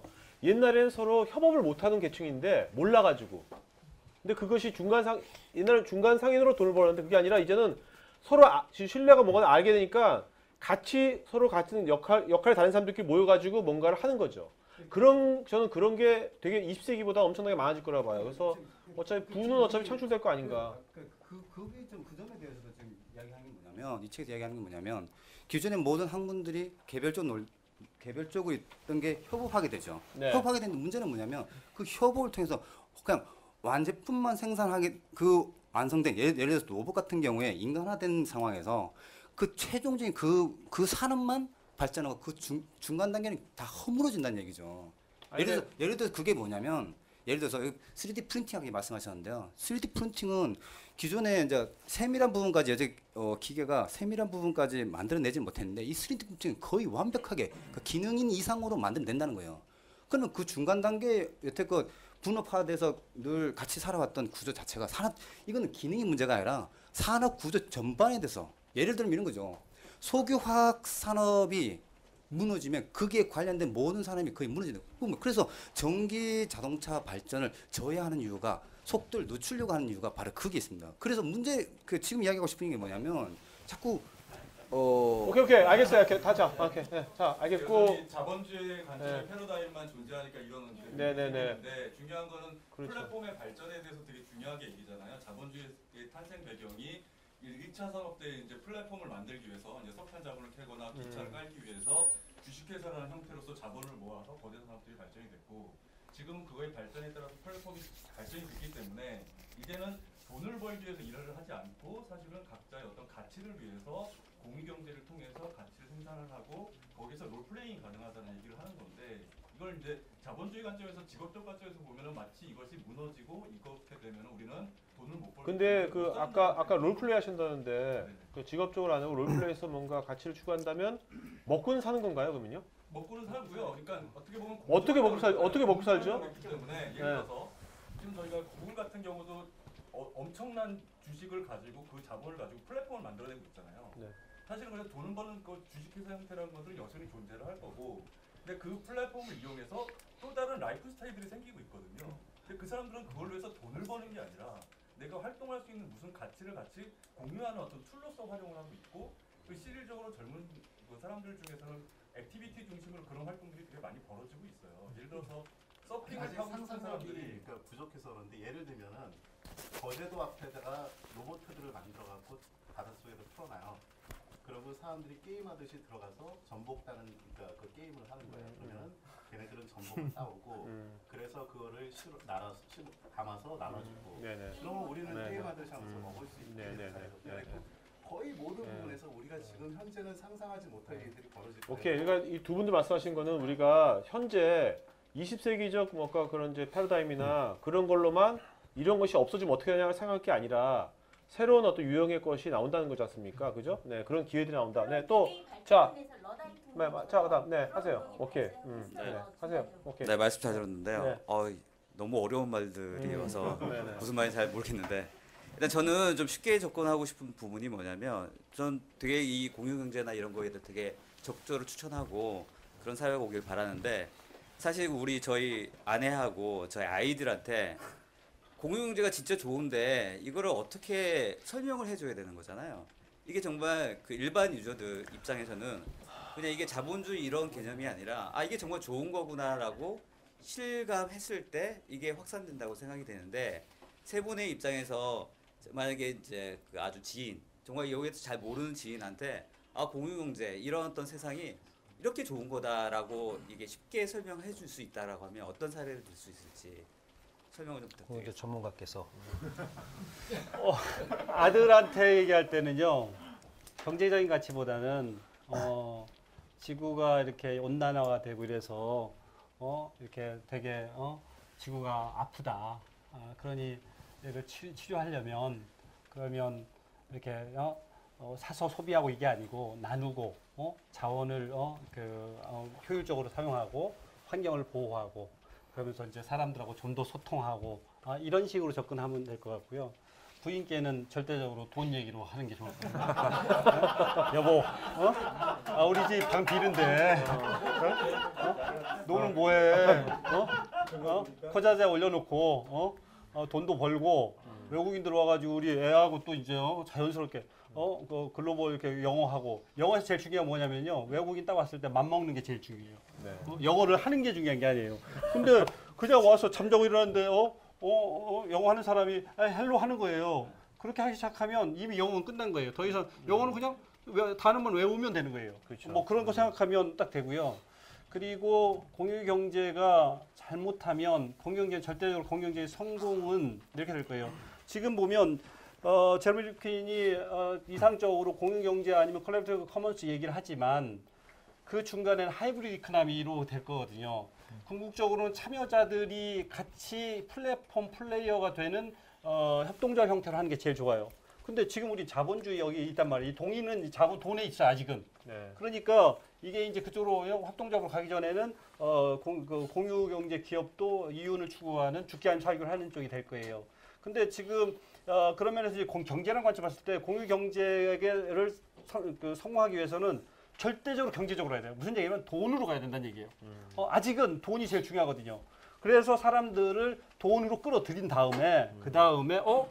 돈 때문에 했는데 보니까 이게 말이야 어? 뽀다고 나는 거야. 어, 나 내가 갑자기 환경론자가 되고 그 다음에 이 공동체를 이렇게 해서 다시 이제 어, 공유경제의 의미를 파악해서 더 이제 공유바가 되는 시기거든요. 그런데 에, 잘못하면 그냥 가치로 얘기하면 가치는 추상적이고 이렇게 피부에 와닿지 않잖아요. 그래서 이렇게 확 끌질 못해. 음, 그러니까 오케이. 아직은 돈이 중요하니 공유 경제가 아무리 이상적이고 앞으로 뭐 좋다고 지금 사업한 지몇 하더라도 년 되셨죠 지금요? 공유 경제 하신 지 사업한 지? 3년 됐습니다. 간증입니다 간증 여러분. 얼마나 힘드셨으면 얼마나 힘드셨으면 이런 얘기 하세요. 자, 음, 오케이. 음. 빨리 하세요. 빨리 아, 여, 여, 여기 마이크 먼저 하세요. 음. 질문인데요. 저기 그 미국 실리콘밸리에서 그 우버라든지 이런 그 에어비앤비가 나와서 세계적으로 전파가 컸는데 일반적으로 이제 그 인간, 인간 의 신뢰를 기반으로 한 그 커뮤니티 같은 거 오히려 더 유럽이 좀 더 그 오래됐다고 보거든요. 그래서 80년대 오일 쇼크가 나면서 결합 시장이 처음부터 나오고 그다음에 위키피디아 같은 것도 이제 소수 민족들이 이제 많이 이제 자기 나라 언어로 많이 올리고 하는데 그 미국 그 궁극적으로 그 기술을 중심으로 한 그 번역을 미국에서 이제 좀 영어 플 영어 플랫폼이라든지 기술을 그 필두로 해서 전 세계의 그 부를 또 미국으로 또 끌어들이려고 하는 게 아닌지 그런 우려도 들거든요. 대부분 유럽 같은 사람들도 자국의 로컬 방송보다는 미국 할리우드 영화를 되게 좋아하거든요. 뭐 이건 좀- 질문. 아니, 뭐 질문이 뭐예요? 아니 그러니까 미국이 결국에 공유 경제하고 이렇게 이런 것들이 그 미국에서 미국보다는 아니 유럽보다는 왜 미국에 더 더. 네, 제가 답변을 하겠습니다. 공유 경제는 다 여기다 해주세요. 네. 왜냐하면 어, 미국이 돈 냄새를 빨리 맡기 때문이에요. 그러니까 뭐 신뢰 이런 게 아니고 생각해 보세요. 어, 에어비앤비라는 회사가 방 하나 없이 80만 개 지금 방이 있어요. 힐튼이 어, 65만 개예요. 네. 6년밖에 안 됐는데 지금 13조 value예요. 어, 하얏트 호텔이 9조 6천억 그러니까 그래요. 그러니까 달러를 천 원으로 한다고 하면 그러니까 돈 냄새 딱 맡은 거예요. 우버 마찬가지예요. 그러니까 공유 경제라고 하면 사람 중심, 지역 중심 이렇잖아요. 자본 중심이 아니고. 그런데 걔들은 어 머리 그 body 그 몸하고 어, 그, 그 영혼이 다른 거죠. 어? 몸은 공유 경제 한다고 하는 그 어, 몸은 공유경제인데 어 돈은 글로벌 그것도 이렇게 돈 먹고 돈 먹게 하는 그, 그, 그 저기 자본주의 가장 꽂힌 네. 벤처 캐피탈한테 돈을 받아가지고 글로벌리 하고 있거든요. 네. 어, 아까 다시 얘기 드리면 저도 실리콘밸리에서 한 5년 동안 사업을 하고 어, 지금 한, 한국에서 사업을 하는데 어, 돈 냄새 빨리 맡는다. 그리고 걔들의 문화 무슨 문화? 이 어, 네거티브 시스템이에요. 그러니까 거기는 어떤 사회의 어떤 혁신적인 뭐가 나오면 크게 사회적으로 문제가 안 되면 그냥 놔두는 거예요. 논란이 되더라도. 네. 그러는 과정에서 진화를 하고 그 다음에 이제 사회적 합의를 거치는데 한국은 어떠냐? 일단 공유경제 컨셉을 잘 알지도 못하면서 공유경제가 안 될 수 있는 것부터 이 규제가 뭐 이거부터 하는 거예요. 그러니까 뭐냐면 우리는 분단 상황이고 이래서 그런지 positive system이에요. 되는 것만 해. 되는 건 뭐예요? 항상 기존의 과거에 기, 관행. 어, 그, 그 기반을 한 거예요. 그러니 새로운 것도 일어날 수 없는 거예요. 네. 지금 모든 게 그렇습니다. 오케이. 네. 자, 아, 자. 좀 마이크로 해야 네, 아예. 여기 한데 마이크 글로 옮길게요. 마지막 빨리 하세요. 그러면요. 지금 그 부- 저희 부모님 세대들이 약간 그런 거에 갈등이 되게 크실 거잖아요. 이제 기존의 자본주의에 너무 익숙해지셔 가지고 저의 부모님 아니면 질문자의 부모님. 제 부모님. 그러니까 그렇다 보면 근데 저희 세대에서는 이제 앞으로 뭐 50년 뒤도 뭐 30년 뒤도 심지어 내년도 장담을 못 하거든요. 그 제가 보기에는 그러면 이 기존의 분들을 이제 좀 어떻게 새로운 이런 공유경제제를 좀 이해를 시켜드려야 되고 또 저희가 좀 어떻게 주도를 해 나가야 되는지 좀 한 그 사이에 계시는 분들의 입장에서는 어떻게 보시는지 아니 왜, 궁금해요. 왜 아니 왜 이해시켜 주려고 그래? 그렇지. 본인, 본인, 본인, 본인 먼저 살아. 본인 먼저 살아. 내일을 모른 다음에 본인 먼저 산 다음에 사람 뭘 이해를 시켜줘 남을. 본인 살아야지. 예. 자, 자, 그럼 마이크 마이크 마이크 마이크. 먼저 살아. 뭘 이해를 시켜줘. 아니 공유라는 새로운 컨셉 가지고 돈벌이를 하세요. 기회를 잡으세요. 어, 그러면 돼요. 어. 이해시켜서 그냥 어. 네, 이게 네, 하세요. 예, 근본적인 질문 좀 하겠습니다. 네. 그 책에서도 그 토마스 쿤이 말했던 패러다임에 대한 정의가 좀 나오는데요. 결국은 그 중세 시대 패러다임 이게 나오잖아요. 그때 사람들이 가졌던 그 사회 시스템에 대한 사고와 지금 은 완전히 다른 거거든요.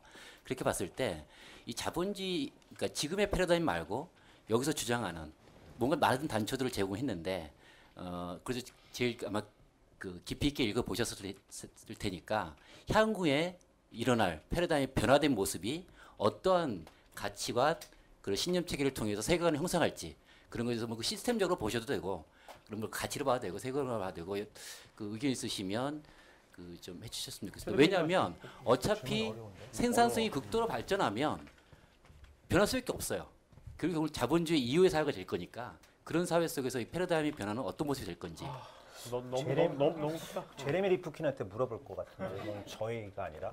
네. 저는 네. 큰, 큰 키워드 중에 하나가 책에서 그 민주화라고 보는데요. 그러니까 차, 민주화, 민주화. 차별이 없어지는 걸로 보고 있는데 그, 그 키워드 그러니까 프로슈머 그러니까 모든 소비자가 동시에 생산자가 되는 경우라든지 아니면 뭐 어떤 그 일반인들끼리 뭐 의료 지식 같은 걸 다 공유해서 그 고- 어떤 뭐 그 집단, 집단지성으로 의사와 같은 그 지혜를 만들어야 돼 이런 것들이 나오니까 어떤 그 예- 예전에 어떤 그 자본에 의해 가지고 그 평, 불평등이 나눠졌던 것들이 옛날 패러다임이라고 한다면 지금은 생산 수단, 뭐 소비 수단을 다 공유하게 되고 뭐 전문 지식까지도 이제 뭐 크라우드소싱으로 다 공유를 하게 되니까 그런 어떤 저, 전반적으로 좀 평등한 사회가 패- 다음 패러다임의 뭐 특징 중 하나, 하나가 아닌가 그렇게 보고 저는 예견 너무 극단적일 수 있지만 우리가 어찌 보면 인류가 불을 가지면서 어, 문명이 어, 발전하기 시작하고 그러면서 그 과정이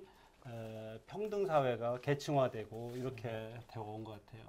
저는 인터넷이 석기철기 이게 아니고 인류에게 제2의 불이 아닌가라는 생각을 하고요. 그래서 제1의 불에 의해서 진화해온 문명이나 이런 것들이 다시 원래 모습으로 근데 원래 모습으로 가는데 에, 문명은 그대로 가지고 있으면서 실은 이제 평등해지고 더 아름다운 세상으로 어, 돌아가는 건 아닌가 이렇게 생각을 하고 네, 자 그다음 질문. 네. 질문은 아니고요. 네. 그제 의견을 좀 말씀드리려고 좀 빨리 좀 해주세요. 예. 네. 결론만. 네. 음, 그 아까 이제 그 오후에 그 워커힐에서 하는 HR 포럼에 갔더니 미국의 사례 같은데 기존의 그 큰 회사들은 100만 명을 줄였고요. 새로 나오는 회사들이 300만 명을 고용했다 이런 얘기를 갖다 하더라고요. 그 제가 드리고 싶은 말씀은 이제 그 그러면 직업이 어떤 직업이 나올 거냐라고 우리 고성 PD님이 말씀하셨는데 저는 세 가지 직업이 나올 거라고 생각을 해봤어요. 첫 번째가 그 connecting helper라 그래가지고 예, 조금 전에 그 부모 세대 얘기했지만 사람과 사람 간 또는 사람과 이- 그 기계 간의 connecting의 어떤 그 갭을 메워주는 그런 직업. 두 번째는 그 공유경제 아키텍처라 그래서 이 공유경제가 뭐 플러스만 아니라 마이너스 있을 테니까 뭐 정책이라든가 법이라든가 제도라든가 security 같은 것들을 총괄적으로 하는 아키텍처라는 직업이 어, 나올 수 있을 거로 봤고요. 세 번째가 아까 MOOC 얘기를 하셨는데 어, learning helper라 그래가지고 아까 이제 나왔던 예 중에 하나가 이제 그 굉장히 커다란 대학교는 사라지고 그 다빈치 연구소에서 오신 분이 그 micro college라 그래가지고 10명, 15명의 특화된 거 가르치는 걸 얘기하더라고요. 그래서 사람들이 내가 필요로 하는 거를 누가 가르칠 수 있느냐, 어디 가면 배울 수 있느냐를 가르쳐 주는 그래서 첫 번째가 이제 connecting helper, 두 번째가 공유경제 아키텍처, 세 번째가 어떤 그런 그 learning을 coordinating 해줄 수 있는 그런 직업들이 네. 나오지 않을까 싶- 오케이. 싶습니다. 네, 예, 자, 고맙습니다. 네. lady first, lady first. 저는 저 책, 책을 만든 편집자인데 그래서 이제 한 다섯 번을 읽었기 때문에 내용에 대해서 이제 잘 이해를 하고 있는. 그래서 이제 제, 저는 오늘 이 얘기들 되게 재밌게 많이 들었고 또 많이 좀 생각도 하게 되고 배우게 됐던 것 같아요. 근데 약간 책 중심으로 생각했을 때 좀 빠진 키워드가 있다면은 어떤 밀레니엄 세대라는 이제 리프킨이 이제 그 다음 세대 뭐 새로운 차, 기업가 정신을 가진 새로운 세대가 등장하고 있다 하는 부분인 것 같거든요. 이제 초반에 어떤 이게 가치, 생존의 문제냐, 돈을 중심으로 하는 생존의 시대냐, 아니면 가치를 중심으로 한 뭐 새로운 협력적 공유 사회냐, 이제 어느 쪽을 믿어야 되는가 이야기를 했을 때 사실 그거를 좀 엮어주는 키워드가 저는 리프킨의 지속 가능성이라는 키워드라고 생각을 해요. 지속 가능성이라는 건 한편으로는 생그 계속해서 이제 후대를 위한 어떤 가치를 남겨야 되는 것이기도 하고 또 그 세대에는 이제 그 생존의 문제이기도 한 거죠.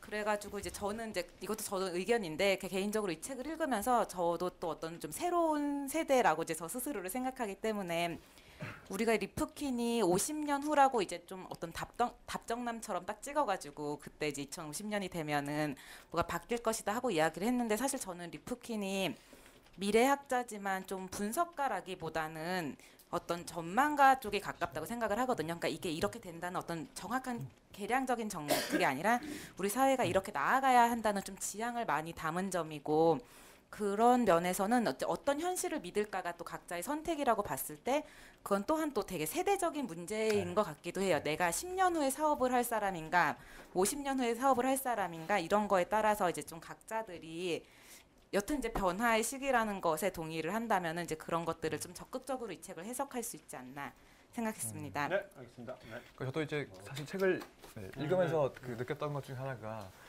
밀레니엄 지금 여기도 지금 밀레니엄 세대가 안 계신 것 같거든요. 그래서 이게 그러니까 태, 태어날 때부터 그러니까 태어나 내가 태어나보니 아이폰이 있어 이미.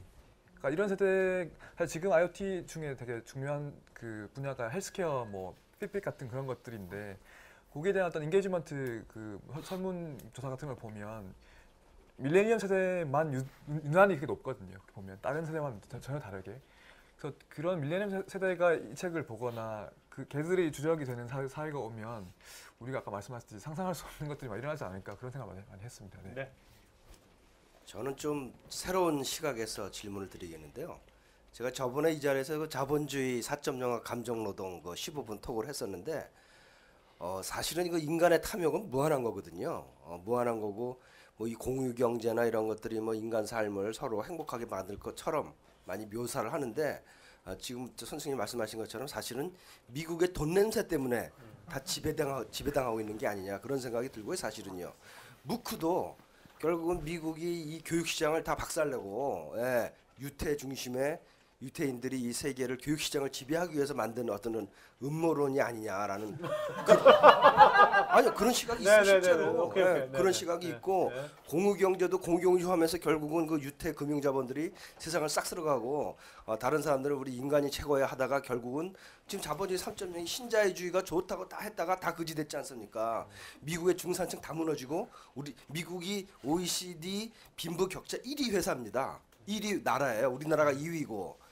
그래서 그 저는 공유 경제나 또는 무크나 뭐 이런 것들이 혹시 이 유태 자본주의의 이 음모론에 이슬람이세요? 아 저는 배달 배달 민족입니다. 아 유태인을 너무 싫어하시길래 음모론의 음모론의 아니, 하나가 아니냐라는 약간 좀 이렇게. 예, 예, 그런 시각인데 거기에 대해서는 어떻게 생각하시는지 궁금합니다. 그 논리가 이렇잖아요.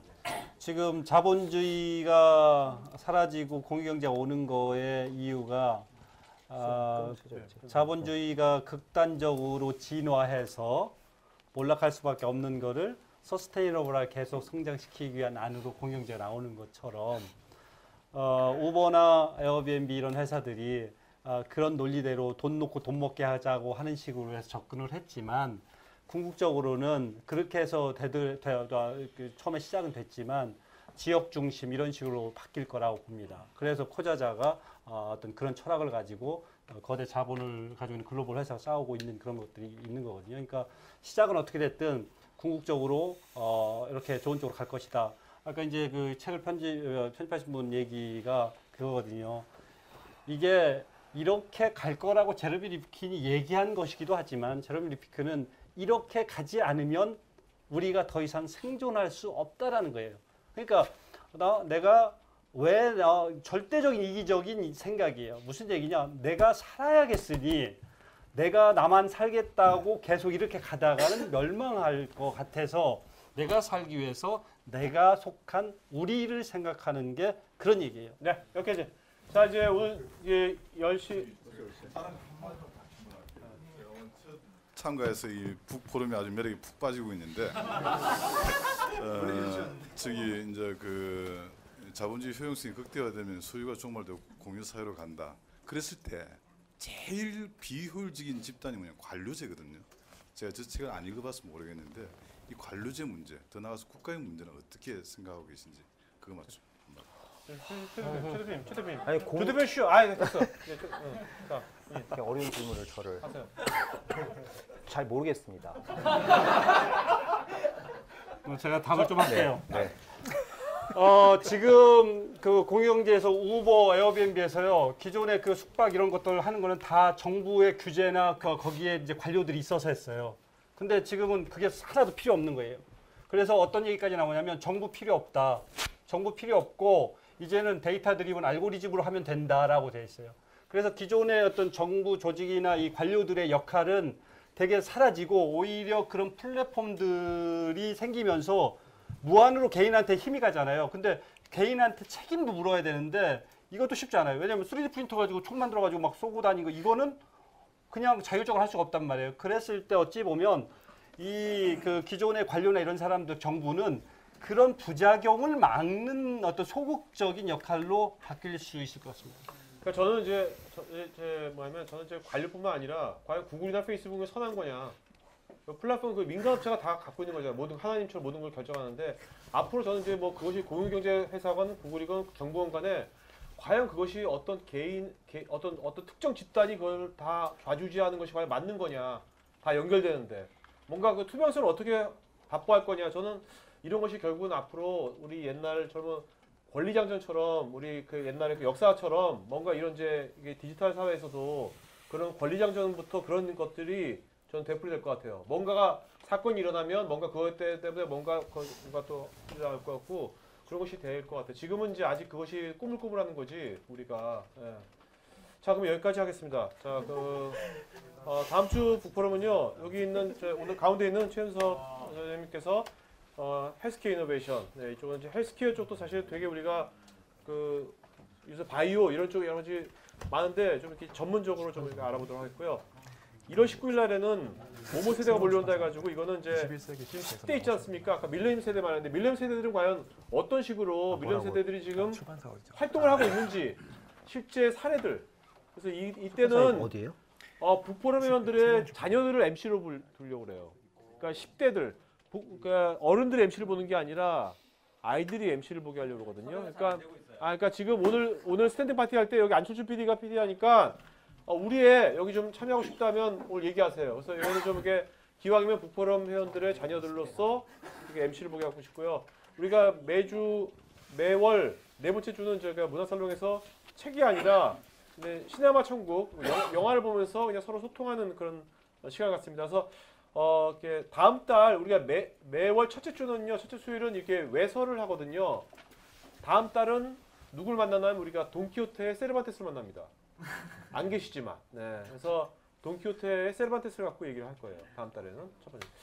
자, 그 오늘 수고하시는 여기 아, 속 기자님들 오늘 너무 수고하셨는데 두 분께 박수 드리겠습니다. 오늘 이게 전문 용어가 많이 나와가지고 더 힘드셨을 거예요. 네, 중간에 너무 고맙고요. 아 그 다음에 저 오늘 저 뭐야 지금 제레미 레프키한테 간단하게 이제 저 뭐야 영상으로 따로 하시죠, 네, 따로. 아니 아니 아니, 지금 하죠. 하나씩. 자 조 대표님부터. 제레미 일단 한마디. 영어로 해야 돼. 아니 한글로 해 한글로 하세요. 자막할 때 영, 마음대로 영화 마음대로. 자 조 대표님부터. 영어로 멋있게 한번. 어, 아, 제롬이? 그 미래에 대한 어떤 그 해안을 밝혀준 거에 대해서 대단히 감사하고 어, 한국에 오셔서 여러 가지 얘기를 했는데 그런 얘기들을 좀 더 구체화해서 어, 좀 더 이제 한국이 미래 이 미래를 어떻게 개척해 나가고 어떻게 어, 세계민들을 위한 어떤 어, 어, 그 뭐랄까 가치 창조의 민족이자 국가로서 발전해 나갈 수 있는 있을 것인지에 대한 아, 좀더 구체적인 얘기를 좀 해줬으면 합니다. 그리고 또 한 가지 아, 제가 공유경제 관련된 책을 쓰려고 하는데 아, 그 내용을 제가 드릴 테니까 나중에 아, 리코멘트 레터 부탁합니다. I love you. 하면 되나요? 네, 그, 아, 전 책을 읽으면서 되게 지적, 지적인 자극을 되게 많이 받았고요. 그 책에서 하셨던 그 2050년도에 전망하셨던 것들이 아, 그때 이루어지는지를 지켜보고 싶습니다. 네. 네. 네. 어, 저도 역시 굉장히 사실은 그 소유의 정말 때부터 굉장히 좀 insight를 많이 받고 있고요. 그래서 어, 제레미가 생각하는 사실 50년 후가 사실은 결국은 어떤 그 변화를 예측해서라기보다는 그렇게 이야, 이야기함으로 인해서 그 미래를 그렇게 만들고 싶어하는 어떤 그 의지를 표현한 것 같아요. 그래서 그 의지에 저희 한국이나 우리 한국의 기업가들이 함께 가치를 만들고 그런 것들을 만들어내는데 어, 일조할 수 있으면 좋을 것 같고요. 저도 지금 사물 인터넷 책을 쓰고 있는데 네, 추천사 아, 부탁드립니다. 아 두사한테 부끄러 나오겠는데. 아, 아, 아, 제레미 안녕. 어, 저는 이제 당신이 쓴그 소유 종말 The Age of Access를 2001년도에 읽고서 필이 받아가지고 아 이런 세상 오는구나 해가지고 저는 그걸 바로 올 줄 알았어요 그런 세상. 그래서 2002년도에 벤처 만들어가지고 어, 개고생을 했습니다. 어, 지금도 그것 때문에 그 후유증으로 지금 12년째 어, 사업을 하고 있습니다. 당신 때문에. 예. 그래서 이, 오늘 요번에 책을 보니까 뭐 50년에 온다고. 전 지금 너무나 그 충격을 받아가지고 지금 야 50명이 좋대 내가 몇 살이야 지금 어 그래서 언제까지 저보고 이거 믿고 하라는 건지 어 좀 제발 좀 이렇게 어 이제 이야기만 하지 마시고 본인이 좀 이렇게 사업을 좀 하나 좀 만드셔가지고 좀 용기를 사업 당신을 믿고 따르는 이런 사업가한테 용기를 좀 보여줬으면 용기를 치워줬으면 좋겠습니다. 네. 그러면 그 아, 오늘 이제 너무나 어, 수고하신 이제 어, 바쁘신 세 분 모셨는데 어, 세 분께 부- 박수 부탁드리겠습니다. 네.